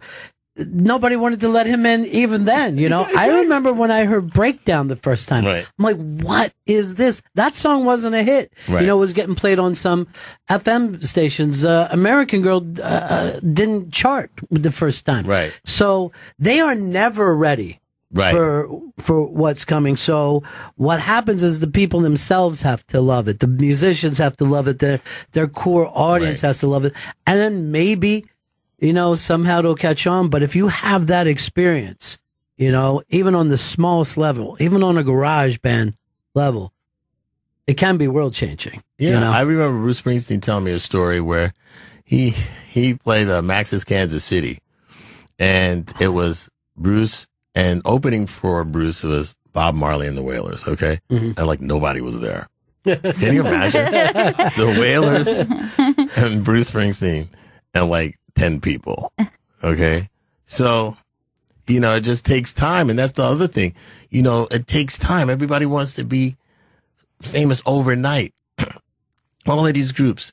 You know, that we now know, people now know that the Beatles played 90 sets a night in Germany before Right. they, you know what I mean? But, you know, it didn't just happen. They didn't just add water and like, poof. Yeah. You know, the, the Supremes were the Primettes Yeah. and they had a bunch of flops. You know, the, their first song wasn't Where Did I Love Go? You know, it was like, there was all this other work that took place before that happened. You got to keep working. Yeah, you got to keep it. Dude, it's so good to see you again. I'm so excited to hear that you're going to come in and do this uh, every once in a while Yeah, with volume. absolutely. Um, seriously, if you get Mitch Glazer, I'd like to come by because I want to bore ass him to write a book about his life or maybe 40 books Yeah. about his life. I think he's one of the most He fascinating guys. I haven't He seen him brilliant. in a couple of years, but uh, I'm always thinking about him. The 15th annual A Great Night in Harlem concert is happening Thursday, the 27th. Uh, Danny Glover and Joe Morton will be uh, hosting this. John Mayer Trio, uh, Jon uh, Batiste, Bruce Willis, Robert Cray, Robert Randolph. An amazing night of music. Always great to see you, my friend. Great to see you guys. I hope we do it I more. love that you guys are working there. Isn't it's it just wild, the great. man? It's just the greatest. Yeah. It, it was really uh, when we first decided to do this. I'm like, what kind of what would be the scariest thing I could do next? it's me. and, and, and we we're just having an absolute ball. It- It's so man? natural. It's so fantastic. It's great. All right, my man. I'll see you next Thank time. you. How much you love Steve Jordan? so great. And that band is so good too. That song is just incredible. Yeah.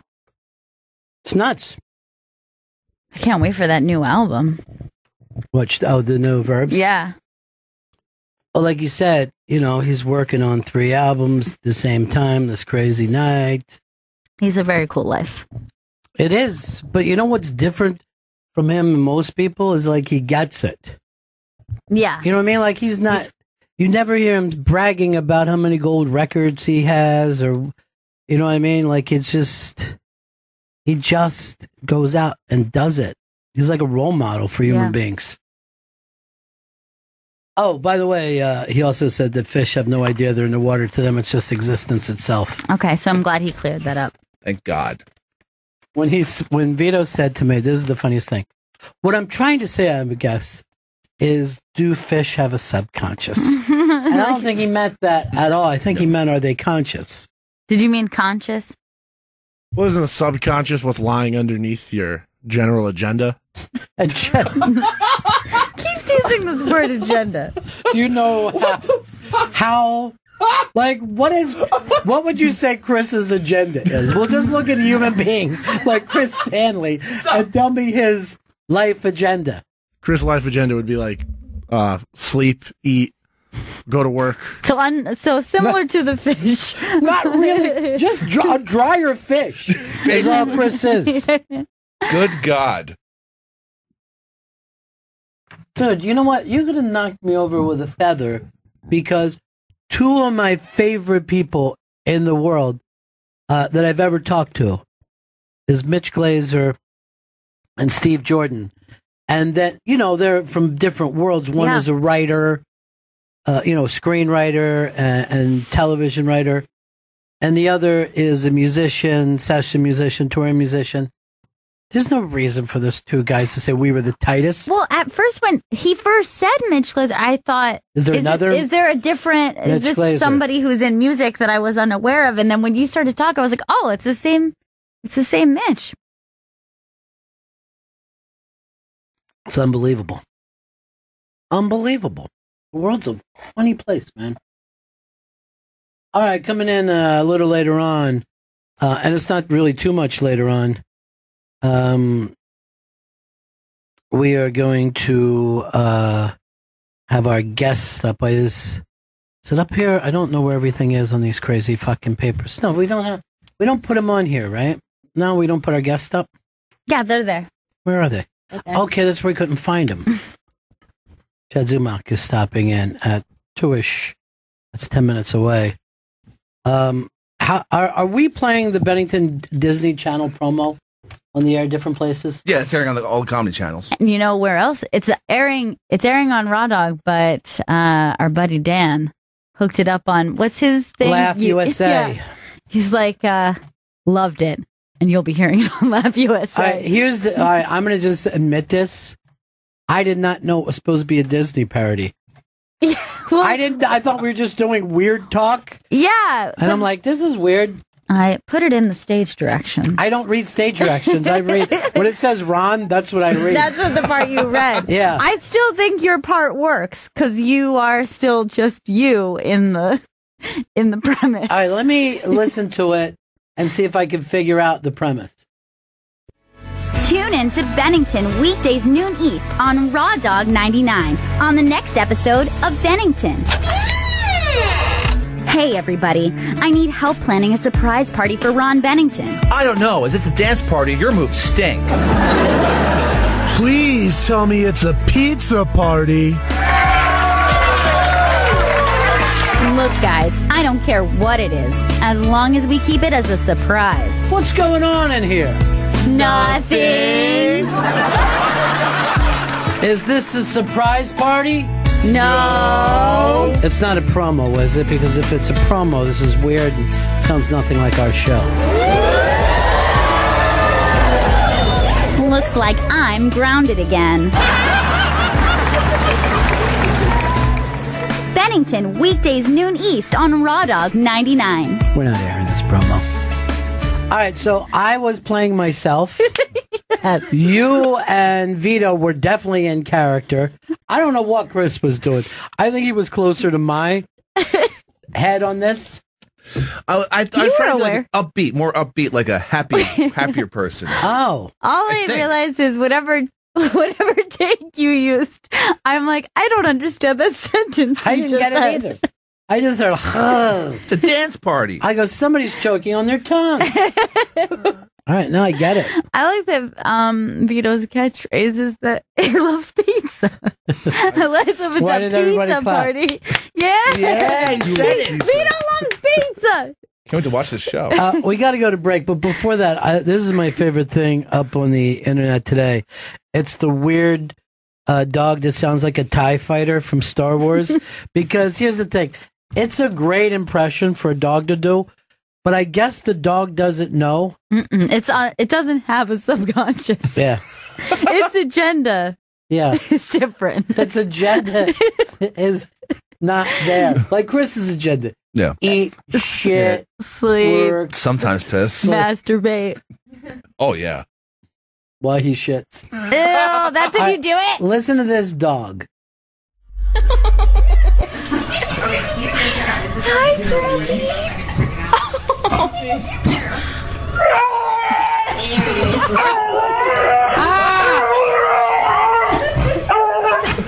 Geraldine, hey. One ninety-seven.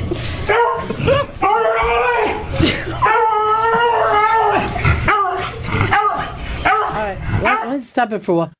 Why were TIE fighters supposed to sound like that in the first place? I don't know. Lucas didn't know what he was doing. Oh, stop it with that. I'm trying to be in a conversation. He's just trying to talk you. to you. I'm trying. You say that you're a nerd, and then you say something that dumb. I mean, I guess their ion engine or whatever is supposed to make that sound. But there is no sound in space.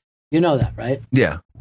So, what sound would they make, and why are they making the same sound no matter which one of them is? And did he just say their ion engine? I'm gonna guess the ion engine. I think that's what he said. engine powered by ions. Man, like hounds and beagles, they're really cute, but I don't know if they are. the the sounds they make just freak me out. I've never been comfortable around them. A hound don't- or a beagle. Really, No. I really like them. You know what And I feel had like? Considered Thank you.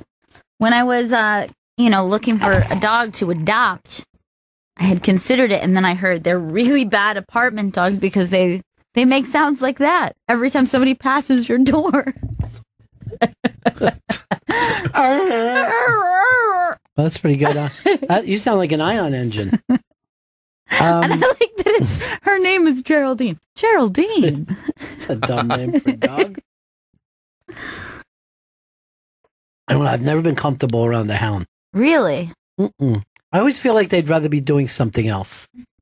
Plus, I don't like anything Looking that for just stuff? throws its fucking legs around nilly willy. You know what I mean? They just come in. It's like getting hit with a wiffle ball bat when you're near them.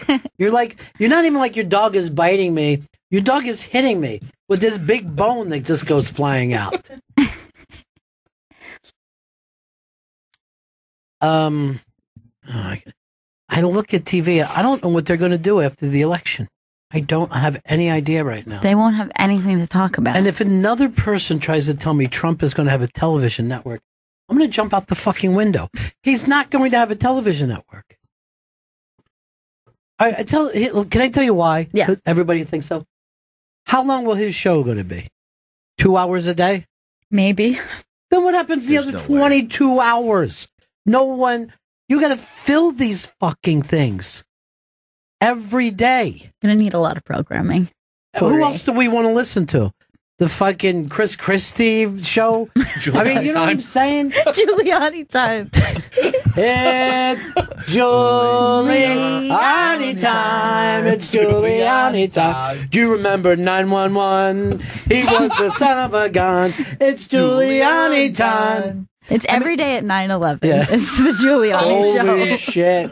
It's not if it's 9/11, it must be Giuliani. Every day at 9/11. well, I got the first call about the first plane hitting. Every day he's telling the same story. Oh boy, twice a day too. Like if you if if somebody said, "Oh, Trump wants to put a show on Fox," I go, "Oh, that could be interesting." But to have his own network and think that you're going to get viewers, you know who else started? They they I thought they could start their own network. Oprah. And believe it or not, Oprah was probably bigger than Trump at one time.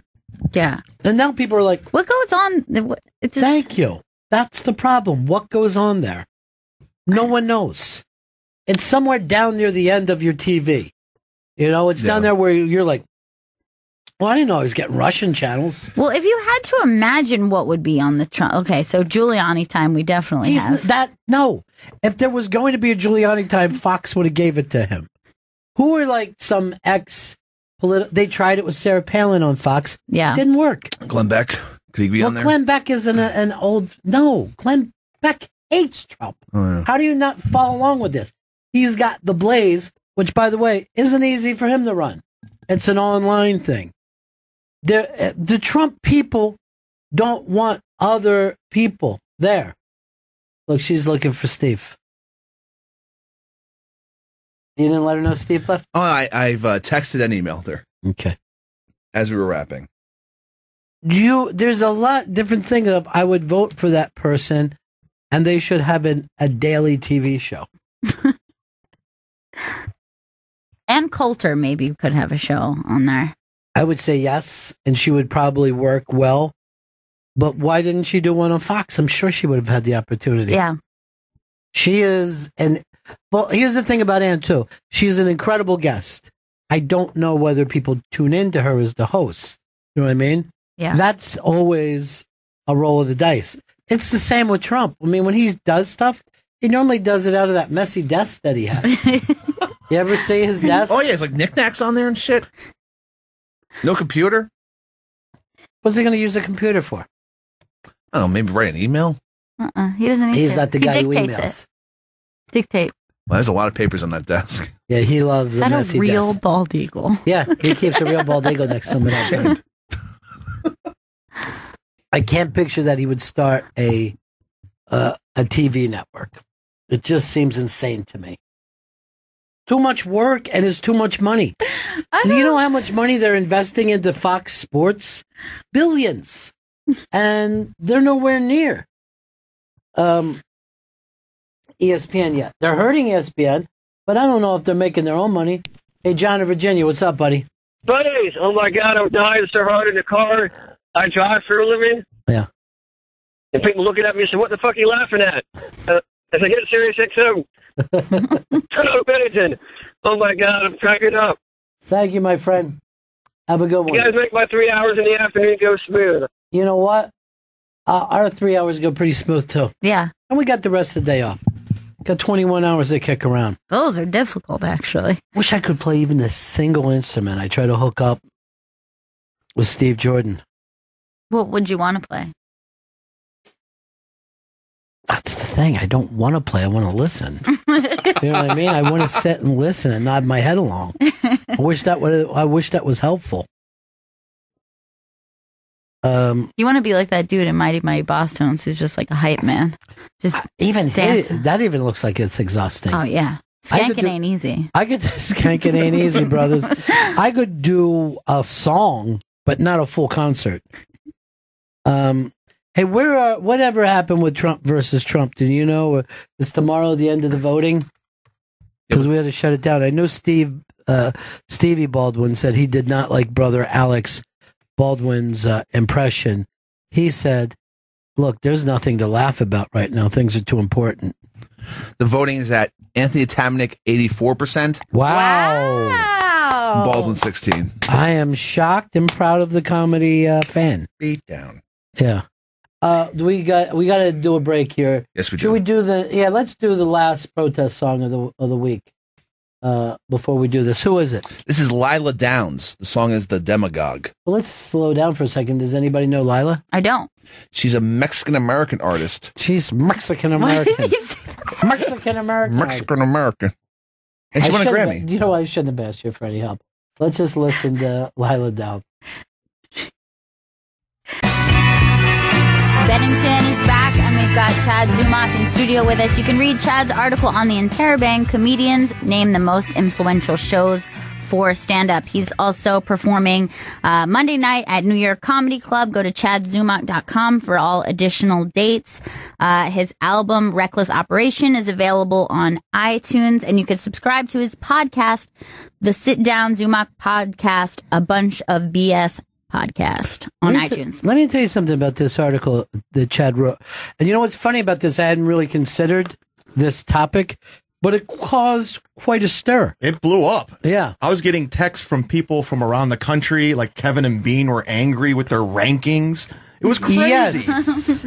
I wasn't sure what is that a ranking that you were giving or or a list? It was more of a list because Yeah. I, I kind of talked to a bunch of headliners, and I was always interested because I learned about comedy through radio, Uh-huh. not, not stand up, and I fell in love with Artie on Howard. Right. That was my guy, and that's why I wanted to do all this. So I started kind of taking notes here and there. I didn't. I've been writing for about a year because I didn't know where I wanted to go with it. Right.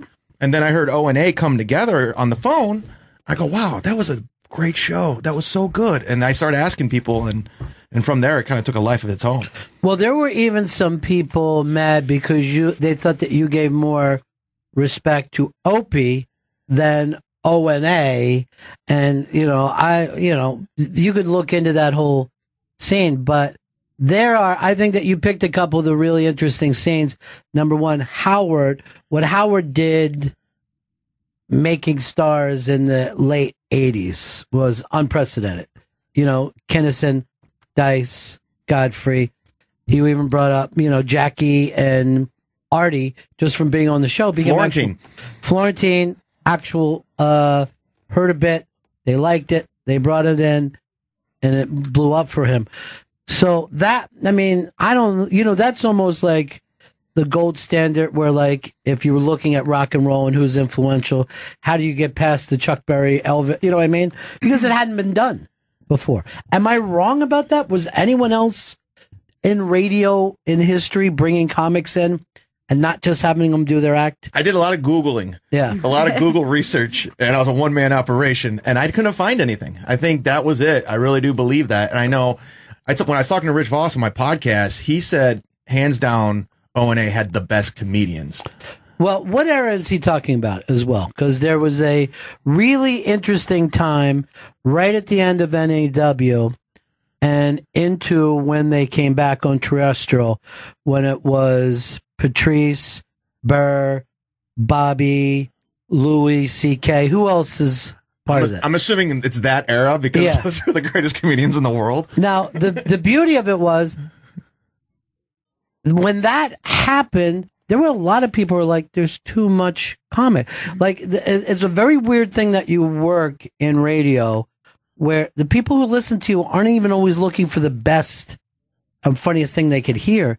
A lot of people just want to hear their friends. They don't want to hear anybody else.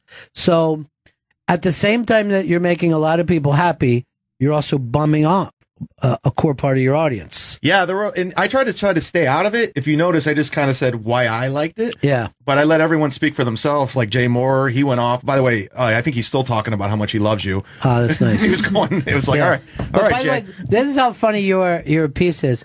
Uh, I'm out the other night at the stand, and um, Voss comes running to me. Look, I don't want you to take anything the wrong way. I said in that article. I go, it seemed like it was pretty nice, Rich. And plus, you have a right to your opinions.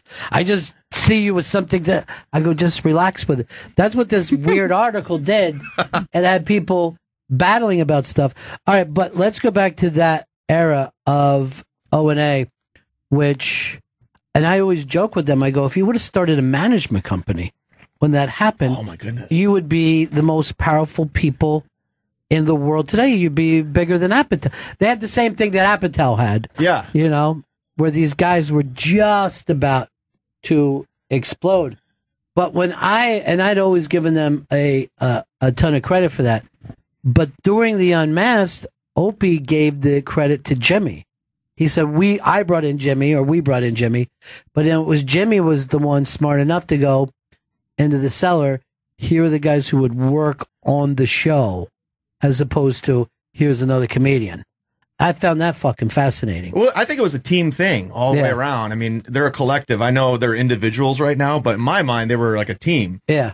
But uh, unfo- what you're saying is they're coming back together, right? you think? yes. You're announcing it, right? Why not? Why not? I hey, mean, if Axl Slash and Duff can do it, why not? I wish they would have brought the drummer back though. Adler? Yeah, that was a very unique sound, very unique drum sound in that first album. The cowbell. Yeah, it was just I don't know what he's doing. It sounds like he's sliding up and down the drums. I don't I just had Steve Jordan in here a little while ago. I could have asked him in particular what was uh, great about. By the way, did you notice that even as a little kid he's got a better ear than us that he was hearing the acoustic guitar in Satisfaction? Yeah. And I was just like this. Yeah, the acoustic guitar. Sure. And I haven't heard it to this day. I like to I'm sing going along to go with home it. and listen for that. Uh, but this, um, so Kevin and Bean felt like they did more. Who were their guys? Who were their? gu- I mean, they're in Los Angeles, so Right. they kind of got the market cornered over there. I don't know, but I know a, a comedian friend of mine, Eddie Ifft. He was just he's in Edmonton and went on their Yeah. morning show. And as soon as he walked in studio, they started bitching him out because of the article. Why wouldn't you mention us? We were always good to you. So these radio egos are out of radio, control. it- well, it's very, you know, you were in the game. It's very tense being in radio because a lot of times you don't even want to share a guest with somebody who's been in the other fucking. And I was brought into radio that way. I like if they did a show before you, right? They could go and do a show after you, but not before. Fuck them. And like we would be mad if and I remember once it started a bunch of shit because David Lee Roth stopped by the top forty show before he came and did our show. So I joined in the anger, and now in hindsight, I'm like, I don't know why I was so fucking mad about that. the guy's got an album he's promoting. He wanted to sell some singles, and then go over and sell some stuff to the fucking pot smokers. Is that is that back when you were on terrestrial? Yeah, when I was at 95 YNF, they were so competitive, and we were, uh, you know, kind of taught to hate the other station. Just hate them.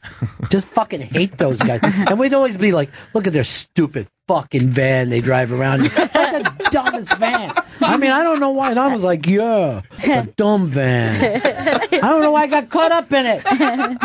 I don't give a shit. But it, it is funny to make it personal about somebody who is not your friend. This person's out to promote. He's got their- a job to do. this is he's at Yeah. work. It may not seem like it, but he's at work. Well, yeah, that's what you get when, like, you hopefully learn as you mature. Like, you bring people in, you treat them as a fucking friend and a guest, and you try to be of service to them, and then let them live their life, not control their life. fucking crazy. I think the Bennington show should start a radio war with someone. Well, I wouldn't mind starting another one with Eddie Trunk. He's on a volume right now. I just saw him out there. Yeah. I mean, what is his deal? Dirtbag. Yeah, what is his? I mean, can I tell you something? I was thinking about maybe starting a war with this podcast called Big Brother and the Holding Company. Why? Well, there's a cuck, I believe, on the show. it's Um, just rumors. it's nothing true to it. But you know, in terrestrial now, if the stand-ups are complaining, they don't even get enough time. Most of these shows, they get like eight minutes, and I, I don't think you went out of your way to bash anybody during your article. But there's a lot of people who they want you to come in, be hilarious, and put your fucking headphones down and walk out very quickly. There are some good ones out there, like over in Omaha, Todd and Tyler. They let you Uh. hang out, and it's and they're really they get it, they get Yeah. it, and they're like, but they're few and far between. But like you said, they're eight minute segments, like Kevin and Bean. You're in there for eight minutes, and you got to sell yourself. You got to do it like you do. Uh, Late night. Yeah, like Yeah. you're doing Colbert. Like, oh, so somebody told me that your cat was uh, got an operation, and then you go into your cat operation bit. But I'll tell you something that uh, that has changed immensely, and I've been doing this forever. I think podcasting has made comics better guests because I remember when comics would come on the show and stink. and I'm not going to mention their name, but they were very well known late 80s, early 90s comics. Yakov Smirnoff. Yakov was the exception to that. I mean, he just can roll with anything. You know, like he was explaining to me once that the difference between cops in our country and Russia, and it was just amazing. But uh, but they, they they wouldn't know how to come on radio and do what you're doing right now, just being in the moment and having a conversation. And I kind of feel like podcasting changed that. I think so. I mean, some people built. I mean, a lot of those guys built mini empires like Maron and Yeah. Joe Rogan, and yeah, I think going on a lot of podcasts just helps helps you talk freely. Well, right, there was no reason for funny people not to be funny, but I don't know whether they felt. And I'm going to go back into like just, and it's not him in particular, but thinking that Dennis. Um, no, I don't even want to use him as a thing because I don't know about him in radio. But a lot of the Jerry Seinfeld era of guys, they would have their jokes, and they wouldn't want to be seen unless they were dropping punchlines, killer punchlines. And that, I think the big change was Howard being able to explain, come in, say something about your life, be different than you are in stage, and people will show up and see you. But a lot of those guys were uh, very, very tight about themselves. You know, they want it to be seen as a guy who can drop three jokes a minute all the time. Your old show that uh, morphed into this, like Yeah. when, when did that start? Which one? The Ron and Fez. Ron and I- Fez. I, did Ron and Ron was my first show. Right. Then uh, around somewhere around 2000 or something, uh, me and Fezzy went off in a, a, a different gener- uh, in a different thing, and we didn't use many stand-ups, just the occasional stand-up. A lot of it, I figured because I was working with O and A, they're doing that. I want to, you know, I don't want to just do the same thing. Uh, a matter of fact, a couple guys had asked me if they could come on, and I'd always be like, "Yeah, I'm you know. But I just thought well, you just were on Opie's show for four hours, right? You know, just slugging it out in there. you know? But um, what's really funny about a lot of those era guys is some of those guys the audience might have not thought of as playing character, and Rich Voss definitely is not somebody that you want to throw elbows at. Robert Kelly is not somebody you want to tease. These guys are amazingly fast and funny fucking people. So a lot of the guys that would hear them would go to a show, try to heckle Voss, and get just stumped. It's a shutdown. yeah. Um. So I don't know. I think he hit it pretty good. But anytime that you make any list, look, if someone, if Rolling Stone makes a list of the hundred best guitar players, I'm furious. Yeah. I don't care what the list is. I'm like, how The li- fucking dare a you? list always starts a fight. Because it's like, and even if you have everyone, then you can fight on ranking. Like even if you don't Yes. miss anyone, Yes. then you can sit there and go, "How are you gonna put this at number two when this should be number one?" I know. Yeah. I know. And I did it fair. I talked to 50 headliners and I just and I just I compiled it. There was no bias thing. I just Yeah. said this is what it is. Run with it. And How I mean, long- that's like How long to put those headliners together? Three weeks. And anybody turn you down and say, I don't want to sit around and talk about fucking radio guys like a bunch of. Oh, a couple people didn't return emails. Like uh, Marc Maron, who I love, he's Yeah. busy. He's he doesn't have time for my dumb article. Well, you know what? You know the the other thing too is some of the broadcasting guys are guys, the, the podcasting guys, the biggest podcasting. They came out of broadcasting first. Like Marin had worked for Amer- Air America, and he picked up how to make a show go. You know, so that's that stuff is always fascinating to me.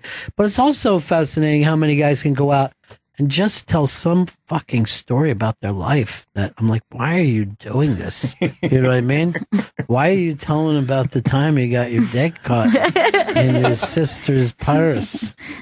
Why are you doing? You know, it's amazing. It's funny as hell. Uh, who do you think is the best comic to come in and do shows? Because I've always had this. How about this? Yeah. So I, I, I forget who. Oh, so I was talking with Rhodes the other day, and he was saying that he loved the Carson show because that show would expose stand-up comics. And I said, uh, uh, how I would always love to see Rickles. And he goes, yeah, but Rickles just did panel. And I'm like, oh, he's separating sitting there and being hilarious next to Johnny with standing on the fucking little star and telling jokes. That goes back to what we were exactly talking about. Some people just see comedy as that. Three are in my mind right now. Mm-hmm. I'm not going to put them in any order, but they they actually are attached to each show. Your show, Big Jay, without a doubt. Well, Big Jay has already moved into. Do, and you know what? Here's the funny thing about Big Jay. He just kept writing to me. I'm like, let's bring this guy Big Jay in. You know what I mean? Yeah. But he from the word from Jump Street, and his stand up is the same way. I mean, he's just sitting there talking until he hits something hilarious. Right. All right. So Big Jay. I obviously Artie from Howard. Artie uh, just did Opie yesterday.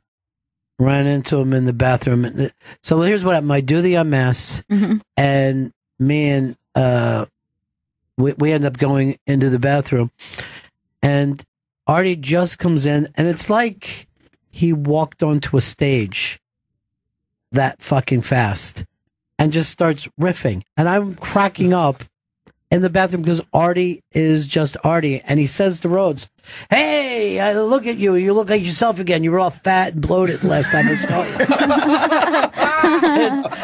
and I'm like, that is as comfortable as he is. You know what I mean? He's just that comfortable. Uh, who else? With respect to Jim Norton and Bill Burr, but Patrice O'Neal with Opie and Anthony.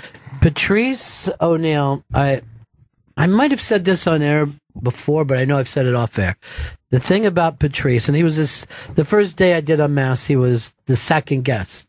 And they said, Patrice, don't bring up the first guest because you're going to play weeks in between.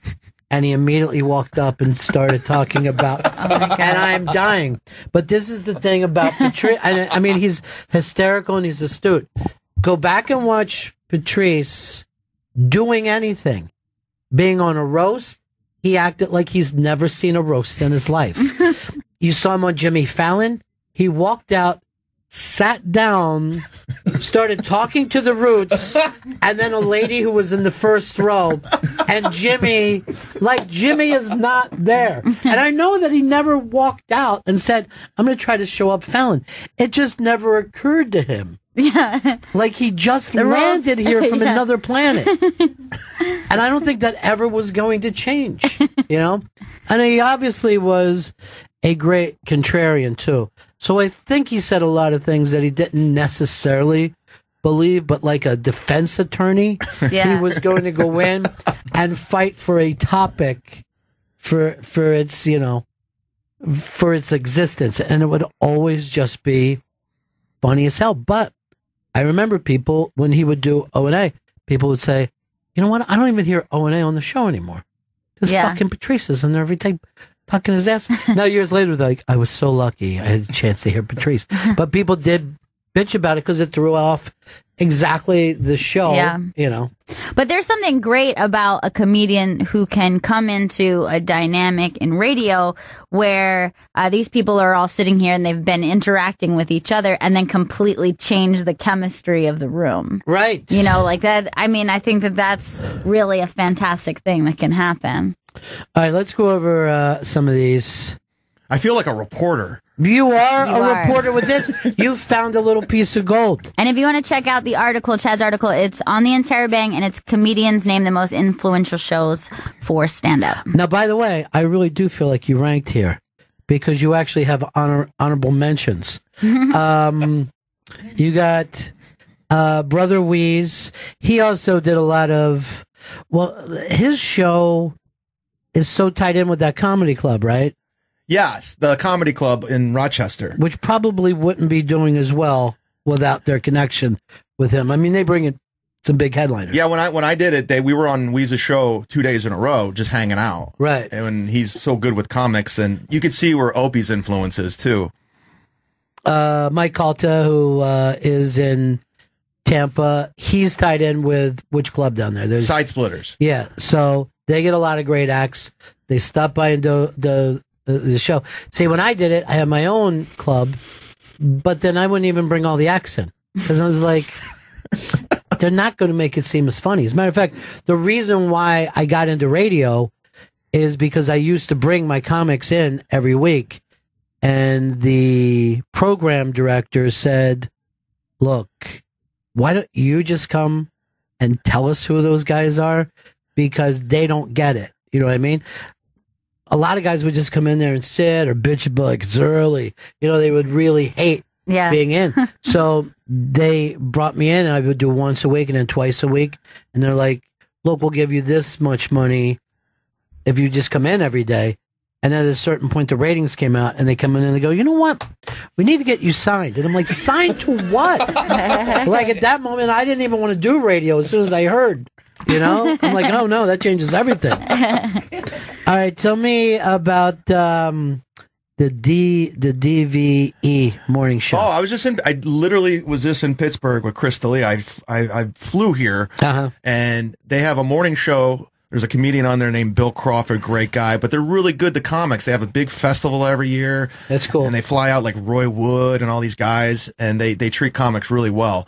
And they were actually, I guess, uh, they, they didn't like their ranking either, from what I They- understand. They weren't crazy about their rank. This is a a, a show uh, that Norton told me is a really good show. Yeah. though. he's a fan. So they felt like they should have been up higher. That's what I'm hearing. Yeah. I'm getting a lot of text messages. So now you're saying you don't want you're you're now saying that you're not ranking, but this looks pretty ranked. I ranked it the best I could out of 50 headliners. I did the best I could. This is with research, you're saying. It's By not just your own personal opinion. That's right. Again, I think it's a fascinating fucking subject because most of these shows don't run into each other. And they're not competing against each other. Uh, before the internet, you didn't even know who was in the other towns. Right. That was always the fucking funniest thing to me. Is like somebody would just uh, say, you know, when I first started radio, they would go, "The Greaseman's better than you." And I go, "Who? Where's he at?" And they would say in DC because it's got nothing to do with this. Then this has nothing to do with anything. Uh, but people would get so attached to the radio show. Yeah. You know? It's very personal. Well, I like I said the first time I came on your show, like I felt like I knew you guys because Yeah. I'm always in the road listening. I'm like, I know, I know Gail. Never met you before. Uh, Preston and Steve, uh, I don't know them, but I always hear great stuff about them. Yeah, that's a Philly show. I've never done it, but I understand uh, a lot of comics like it, and they brought them up a lot. Uh, Bob and Tom is a show that has been doing this for many, many years, and they run a lot of comics through there. Yeah, I, I've done Bob. I used to guest host from time to time, Mm-hmm. and they're good. The comics. I know they get a bad rap from people because you are kind of doing your bits in there, and it's, Right. it's what you like. I don't know, and they seem to have found have found a lot of success in that formula. And I, I you know, like there's great comics like Henry Phillips. I don't know if you guys are familiar. He's a Bob and Tom guy, but he's Right. brilliant. He's brilliant. But the some of the comics don't like it because they got to burn material. And if you're playing the club in Indianapolis that night, and you've just done 15 minutes of your 40 minute set, it freaks some guys out. It freaks some guys out to know. Not, it's not even like I'm doing it on Tonight Show and I'm taking it on the road. They're going to go and hear me doing this tonight, and you can see it in people's eyes where they just go, "Oh, this fucking shit again from this morning." you know, right? because the weird illusion of stand up is they think you're coming up with it. Actually, a friend of mine just told me who uh, heard Bert Kreischer, who I know you're doing an Unmask with. I love Bert. He said he listened to Bert on Bob and Tom, was going crazy. He went to the club that night. He's like, I just heard this. Like, I Yeah. come on, machine, do something else. Yes, take off your shirt, walk around in a speedo. Uh, but you know he can do. I mean, Kreischer is one of those guys who's just a funny guy. Oh, hysterical! And he's a funny enough guy that if he hurt his knee and he was complaining about it, you would start laughing. You know what I mean? There's a there's some people have that thing that it's just not when they're f- they're not just funny when they're being funny. They're funny even when they're trying to tell you bad news. Yeah. Like Albert Brooks com- complain Yeah. about something and you laugh. I always see Todd Glass like that. Like Todd Glass, when he's Yeah. not trying to be funny, is still very funny. Oh, yeah. Angry Todd Glass is funny. if you were working in a hospital and Todd Glass came in screaming that his friend has, was in a car accident and he's losing blood, and you better get your ass out there, you might start laughing. like here he is, he's so angry again. It's great. Todd Glass taught me something that I'm going to share with you. I, it's a secret, but this I'm a road comic, so I gotta survive out there. Todd Glass taught me. He goes, "Listen, do you go to the gym?" I go, "Yeah." He goes, "This is what you need to do. You're on the road. You don't have the membership. Put water on your face. Roll up your sleeves. Get a towel. Walk past the front desk. They're like, "Excuse me, excuse me." Say, "Hey, I just had to run out to my car real quick," and just walk right past. I've been doing it for seven years. I haven't had a gym membership for seven years. and it really works. It works. Never been stopped. Uh, and how, how often have you been asked, sir? A couple times, and I, the, the thing is, you got to act annoyed. Like "Ah, I just had to run out to my car. Like you're bothering me. And they're, they're like, "Oh, I'm sorry, sir." Like, go ahead. I think the funny thing about that is, and you're in someone else's town. I mean, basically, this is the shit that Trump complains about with the Mexicans that you're getting in and you're getting stuff for free. But that is the you are a, a hardcore road comic, right? Yeah. How many weeks a year are you out there? Every weekend for the most part. And you base out of where? Well, I have I live from Cleveland, but I'm moving to Los Angeles, so Yeah. I, I'm I'm just out so much. Like this weekend, I'm going to be staying in New York all week, and I'm barely home. I- Do you kind of feel bad that if it- the Cubs get in, Oh. instead of screaming for the Cleveland Indians to win like everyone should be doing, they're going to be rooting for the Cubs? One franchise, I get. I talked about this. There's going to be somebody within one franchise that loses. There's going to be one guy that kills himself because they're going to be the it. longest losing team in the history of baseball. When's the last time the Indians won anything? 1948 baseball, Baseball, well, of course. we- 64 football. 64 football, and, then last LeBron. year. oh, I forgot about that. but the but the tribe is at any other time because I remember when you guys lost to South Florida because I was living down there when they were playing. Uh, I guess it was the Florida Marlins and they weren't the Miami, and the country wanted the Indians to win, and they lose to this team in Miami that just been thrown together that year, and then they would be broken up. But now people are going to be, oh, I want Bill Murray to win. You know, I wish John Belushi was alive to see this because people love Chicago. Yeah, it's a you know, and I love that's like my NL team. I love Chicago. I love Mm-hmm. going to Wrigley, so it's going to be hard to watch, but I got to root for my tribe. Dude, you got you're going to hate the Cubs after this, no matter what happens. Mark You're gonna- Grace is my favorite baseball player of all time, number 17. of all time, All time. Chris, who's your favorite? Derek Jeter. That's why I hate Yankee fans. They actually have a Hall of Famer to go to. that annoys me. It's a great man. Vito, who's your favorite all time? Uh, I have a really close thing with Keith Hernandez just because I love hearing him do the Well, broadcast. can I tell you something? He got a lot of guys strung on, on drugs. So I hope you're fucking happy. He's Pusher Man. That's I basically see him his song. so.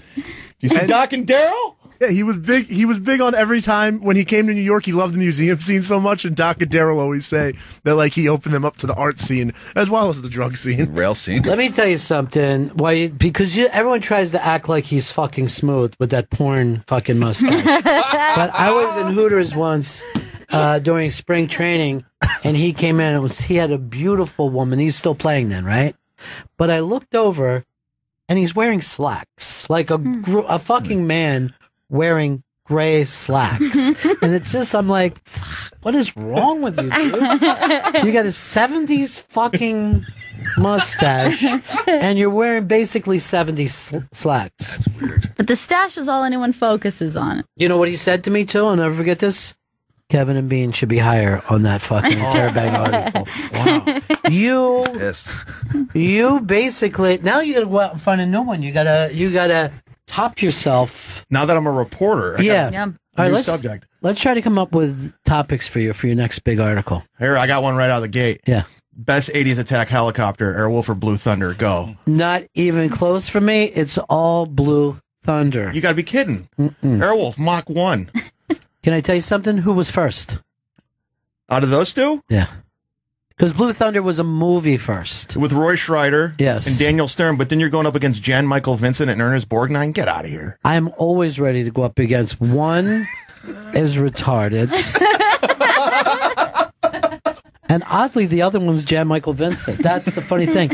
No one went from being like more of a like a, a beloved, great looking guy to being like a derelict, make fun of him because he's got brain damage guy than Jan Michael Vincent. Ron, do you know he only has one leg now? Jan Michael Vincent? Which one?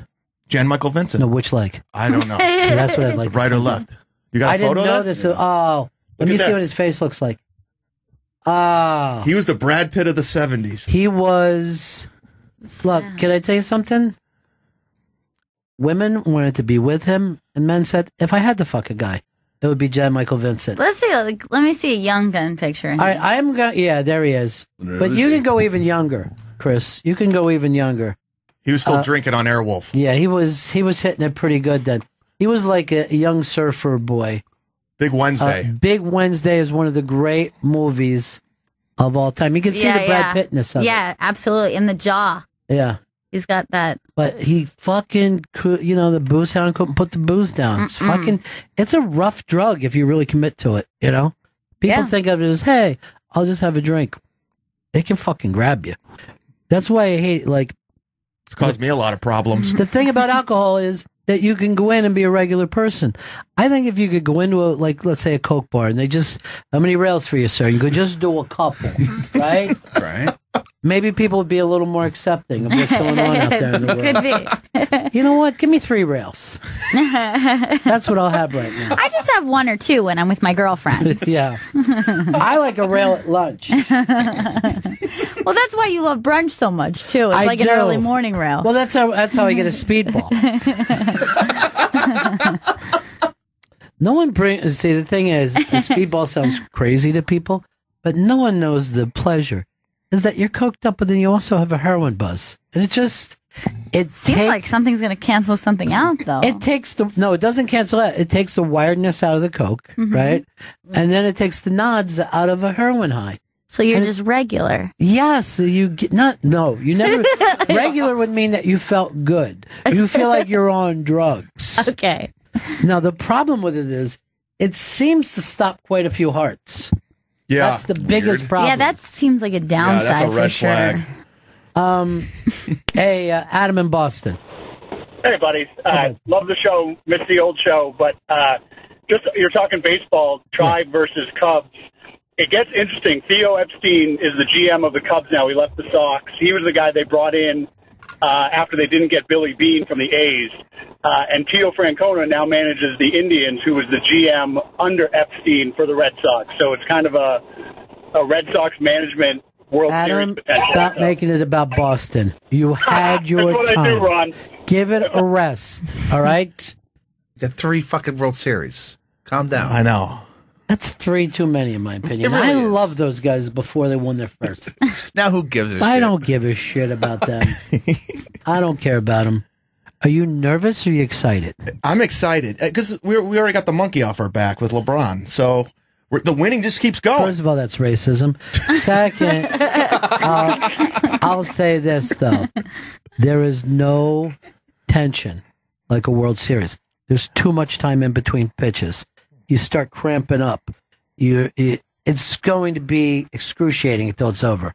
And Terry Francona, I trust. That guy's unbelievable. He was Mm. a game changer. I'm glad we got him, and uh, I'm I'm confident right now. And if we're we don't get too far ahead of ourselves because we got the Browns to balance us out at 0 and six. I'm out of the Highlander, by the way. what, what team did you, what you go out on? Raiders. Because Florentine told me this is. He goes, "This is how you got to do it, Chad. Don't go for the for sure's in the beginning." He goes, "You got to just think outside the box." So my buddy said, "Go with the Raiders defense." Gone second week. that sucks. You know, I know that thing that he's saying, but you got to stay alive. Yeah. And there's always somebody like now Minnesota. Nobody predicted them early on, so you'd still have Minnesota in your pocket. You know, Yeah. when somebody gets hot again, you can go to them if you have them. because we all see teams. Get, well, I don't have to tell you. You're a fucking Giants fan. You guys play like shit. You get hot for five weeks. You win a Super Bowl. It's nice. That's a good feeling. Is it? How do you feel watching that fucking team now? Uh, stressed How do you feel knowing that maybe your quarterback won't go into the Hall of Fame oh, despite having two fucking rings? I feel like he has to go for being that undefeated team. I don't think he will. I, I think they look for consistency. I really do. Well, that's lacking. I think it's going to be. I think it's going to be a struggle for him. There's one guy out there who's won two rings and is not in the Hall of Fame. Nobody knows. All right, I'm going to give you another hint. He had two blind parents. Ooh. Played in Boston, I think, for a while. I'm not sure about that one. Um, when I think they might have still been called the Boston Patriots. All right, here's the big one. One in two different cities, but with the same team, I believe. I think he was in two different cities for that. I don't know.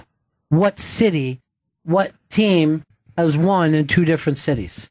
Let's go to the phones. I'm joking. There's no sense because people have Google. Oh. I'm going to give it again. It's the Raiders. Oh.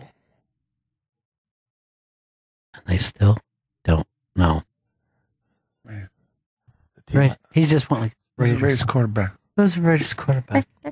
I don't know. You don't know who any of the Raiders quarterbacks have been over the year.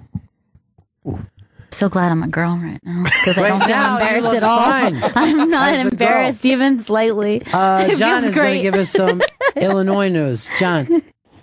Yeah, you know, you want to find a young, badass Jan Michael Vincent. Um, I think it was the Death Wish movie with Charles Bronson. I think that you're wrong about that. I think the movie that you're thinking about is The Mechanic. Yep. The The Mechanic. mechanic. Yep, there, you're right. Yeah. And that movie, he was. It almost felt like those two guys were going to end up kissing. Hmm. There he is, as the young mechanic. Bronson taught him how to murder, but let's say this: did he teach him too well? the mechanic coming soon. I, I tell you what, Jan Michael Vincent knew how to pair himself up with men because he did Charles Bronson, and then he moves on to Hooper with Burt Reynolds. Oh yeah. Um, Two mustaches. look Yeah. at look at He has a this thing guy. for it. It's fetish. Look at the look at the mug on him. It's just literally like looking at someone's nut that you have jo- you've painted a mustache onto. Charles Bronson. I want to try to move the plot along. He would just be have very much the. I'm gonna get a gun and put a bullet in it. That entire movie, it's just like he didn't think of anything but his murder job. He didn't have anything else to do. I He got loves his another- work. I got another murder job coming up. Vito, you still haven't figured it out. No. I started to Google it, then I got. Then you got bored with yourself? Well, I saw Charles Bronson. I go, let's talk about that guy. Well, you should. Chris, you already know it now. You Googled No, I, I didn't Google it. Without Google, I, I could Google it. Without Google, you just said? Without Who's Al Google, Googly? Let me go to Al Google. We got Al Google on the phone. Um, Chad is a hot young reporter right now on the Interrobang. He uh, came up, comedians name the most influential shows for stand up. He ranked them and then attempted to get out of the ranking. Yeah. My, you, can I tell you what my parents said to, to me? What's they that? said, We saw on Facebook that you're the third best comedian working today. and I go, Yep, that's what I am. now you know what I do. I'm the third best comedian in the country on Facebook. I'm the third best Facebook and you know, comedian. they said the same to me. I spoke to my grandmother and she said, Well, your boss is famous. and I'm like, What? Yes. And she goes, I saw that on the internet they said he's the third best comedian. And not even without talking to you, I just went, Yep, that's right. Can you believe it? we do not bother correcting our family about anything. it's horrible. it's horrible.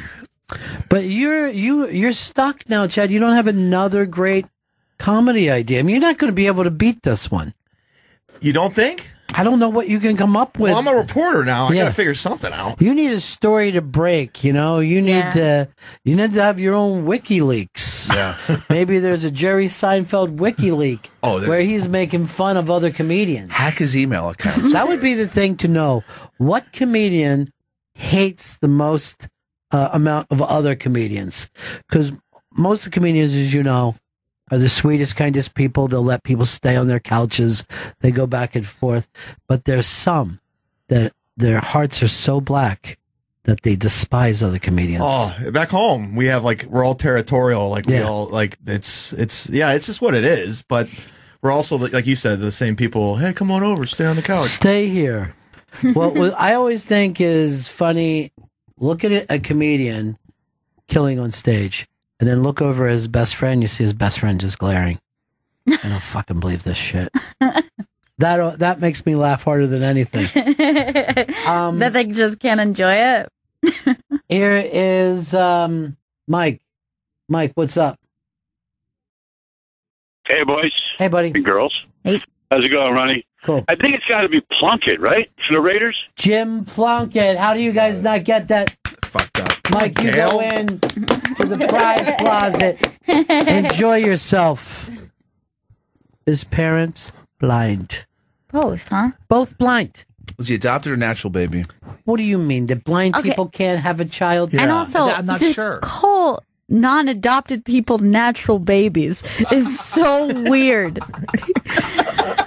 like adopted. I let that moron just say something that offensive. Adopted or a natural baby? What do you think that adopted babies are? Artificial. Test tube, DNA test tubes. Gail, you were natural, right? I. That's what they said, but Gail had the uh, the line that's been haunting me that I didn't do it myself when when Trump said that they're aborting these babies a day before their birth. Gail said that's called a a C-section. Yes. What you are describing is And a I- C-section. If somebody would have said that, Chris Wallace went, "Are you referring to a C-section, sir?" Because that's not such a bad thing. I still line. don't like it. Um, this show went by too fast. Give me a topic for Chad. His next big comedy topic. I think he has to go uh, comedy clubs, rank the comedy clubs. Oh, come You know, that's actually not a bad one, right? Boring. Boring. Boring. No, would you do? Ru- this could be really done, really cool. Is stay out of New York and L.A. The best comedy clubs in between New York and L.A. Because I don't want to read about the cellar again. We get it. It's great. the comedy store's gotten plenty of fucking attention. You know, What about make it more specific? Comedy clubs with the best food, just like that. the best food. Most comedy clubs, you can't eat anything there. Chicken fingers. Chicken fingers, a basket of something. Oh yeah. You have any non-basket foods? Mm-mm. West Nyack has good food. Levity Live. Levity Live West Nyack looks like a showroom from a time gone by. You know what I mean? that is a showroom more than a club. Yeah. That looks like bum ba bum bum ba bum ba bum. Big show, everybody. Um, but that one actually could be a good idea. All right, Vito, what would you like to hear? Any comedy club thing that Chad can write up next. Uh, who has the best uh, specialty cocktail, man? All right, enough Okay, with that. it's not silly. always know, about the It's not a club. Yelp review. You Yes. took- Come on, Jesus dude. Christ. This is, you know, no one's think is just about clubs. Can you incorporate air? Oh, oh, sorry, that was. Oh my god. No, that's okay. Oh my I wanna hear- God. What is going on? there? I don't know. A porn just came oh on. A porn oh. just came on. Oh god. We can hear your porno. By the way, I do want to thank Deborah over at the Interrobang for helping me with that. Well, she had to help you. She had to spell checks. Yeah. I'm a moron. Yeah. I'm a complete idiot. It's not then, it's then. and no one is a looser. That's the number one thing. Do you know that? What? That most people, when they write loser, they will write, you're a looser. Yeah. Really? I Now that I've said it to you, look for it in comments everywhere. Wow. Everywhere. That's weird. And it's always funny if somebody writing hates your that show, down. they'll write up, you're a looser. And I'm going, what's so loose? Talking about my asshole right now? What about what about should have or could have? That, that's Chris. That's so I hate He it. writes, I should have done it. Like OF. I Yeah. should OF. have. I can't even I criticize you because I think Yeah. I've done it too. So Yeah. I, I do it constantly. Yeah. Really try to break. It's not happening. But here's the thing you're mad, but it gives me just so much happiness every time I say it. Now I feel better. You should. I just learned how to spell receipt the other day. That's a tough one. That's a tough one. I'll never learn how to uh, spell decision. It'll never happen. It's always choice when I'm writing. I need to make a choice, I guess. We'll go with that because I'm not going to sit here with S's and C's and fucking figure this shit out. I can't. Siri, fix everything. Just help me. I have made a reading mistake since I was a child, and I can't shake myself. I cannot read the uh, the word chaos properly. I will be reading, and it will be like the room went into chaos, and I go chaos. The fuck does chaos mean? And I say I've done that 150 times in my life. I read chaos as chaos. Just fucking C H A O S. Chaos. And I'm be alone. And be embarrassed by that. I'm like, you know this, dude. It took me way too long to figure out how to spell restaurant, and I had to like once I That's was a tough working. one. Once I was working in one, I was like, I gotta nail this down because I actually this is uh, my business. job, so I'm going to have to figure this out. I don't think I could spell it right now. Let me see. R E S T A U R. Wait, wait, wait. I forgot. it's like where does the U go? Is it the it's the rant or the Ron. I never like figure it out. There- That is fucking hilarious like that. But isn't it embarrassing when you spell a word so poorly that a spell check has no idea? Oh, depressed. yeah. Oh. And you're like, I.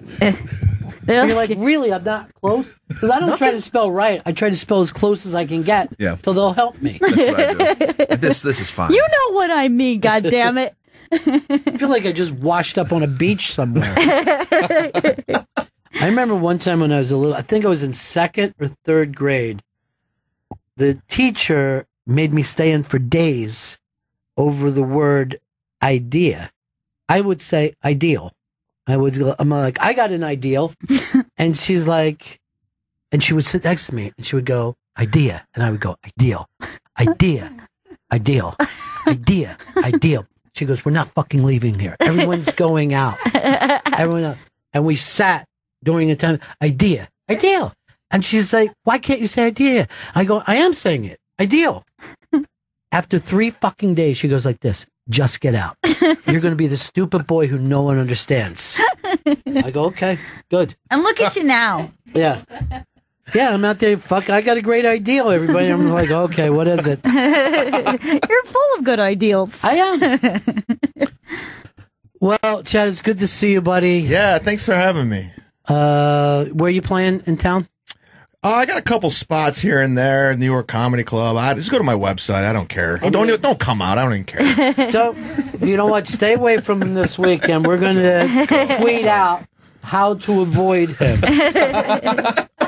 Uh, and then good luck with your Indians. I know it's, you know, it's been a long time coming. I know it's going to be yeah. For And- your sake, I hope you're playing against the Dodgers because people fuck the Dodgers. Yeah, I You know? agree.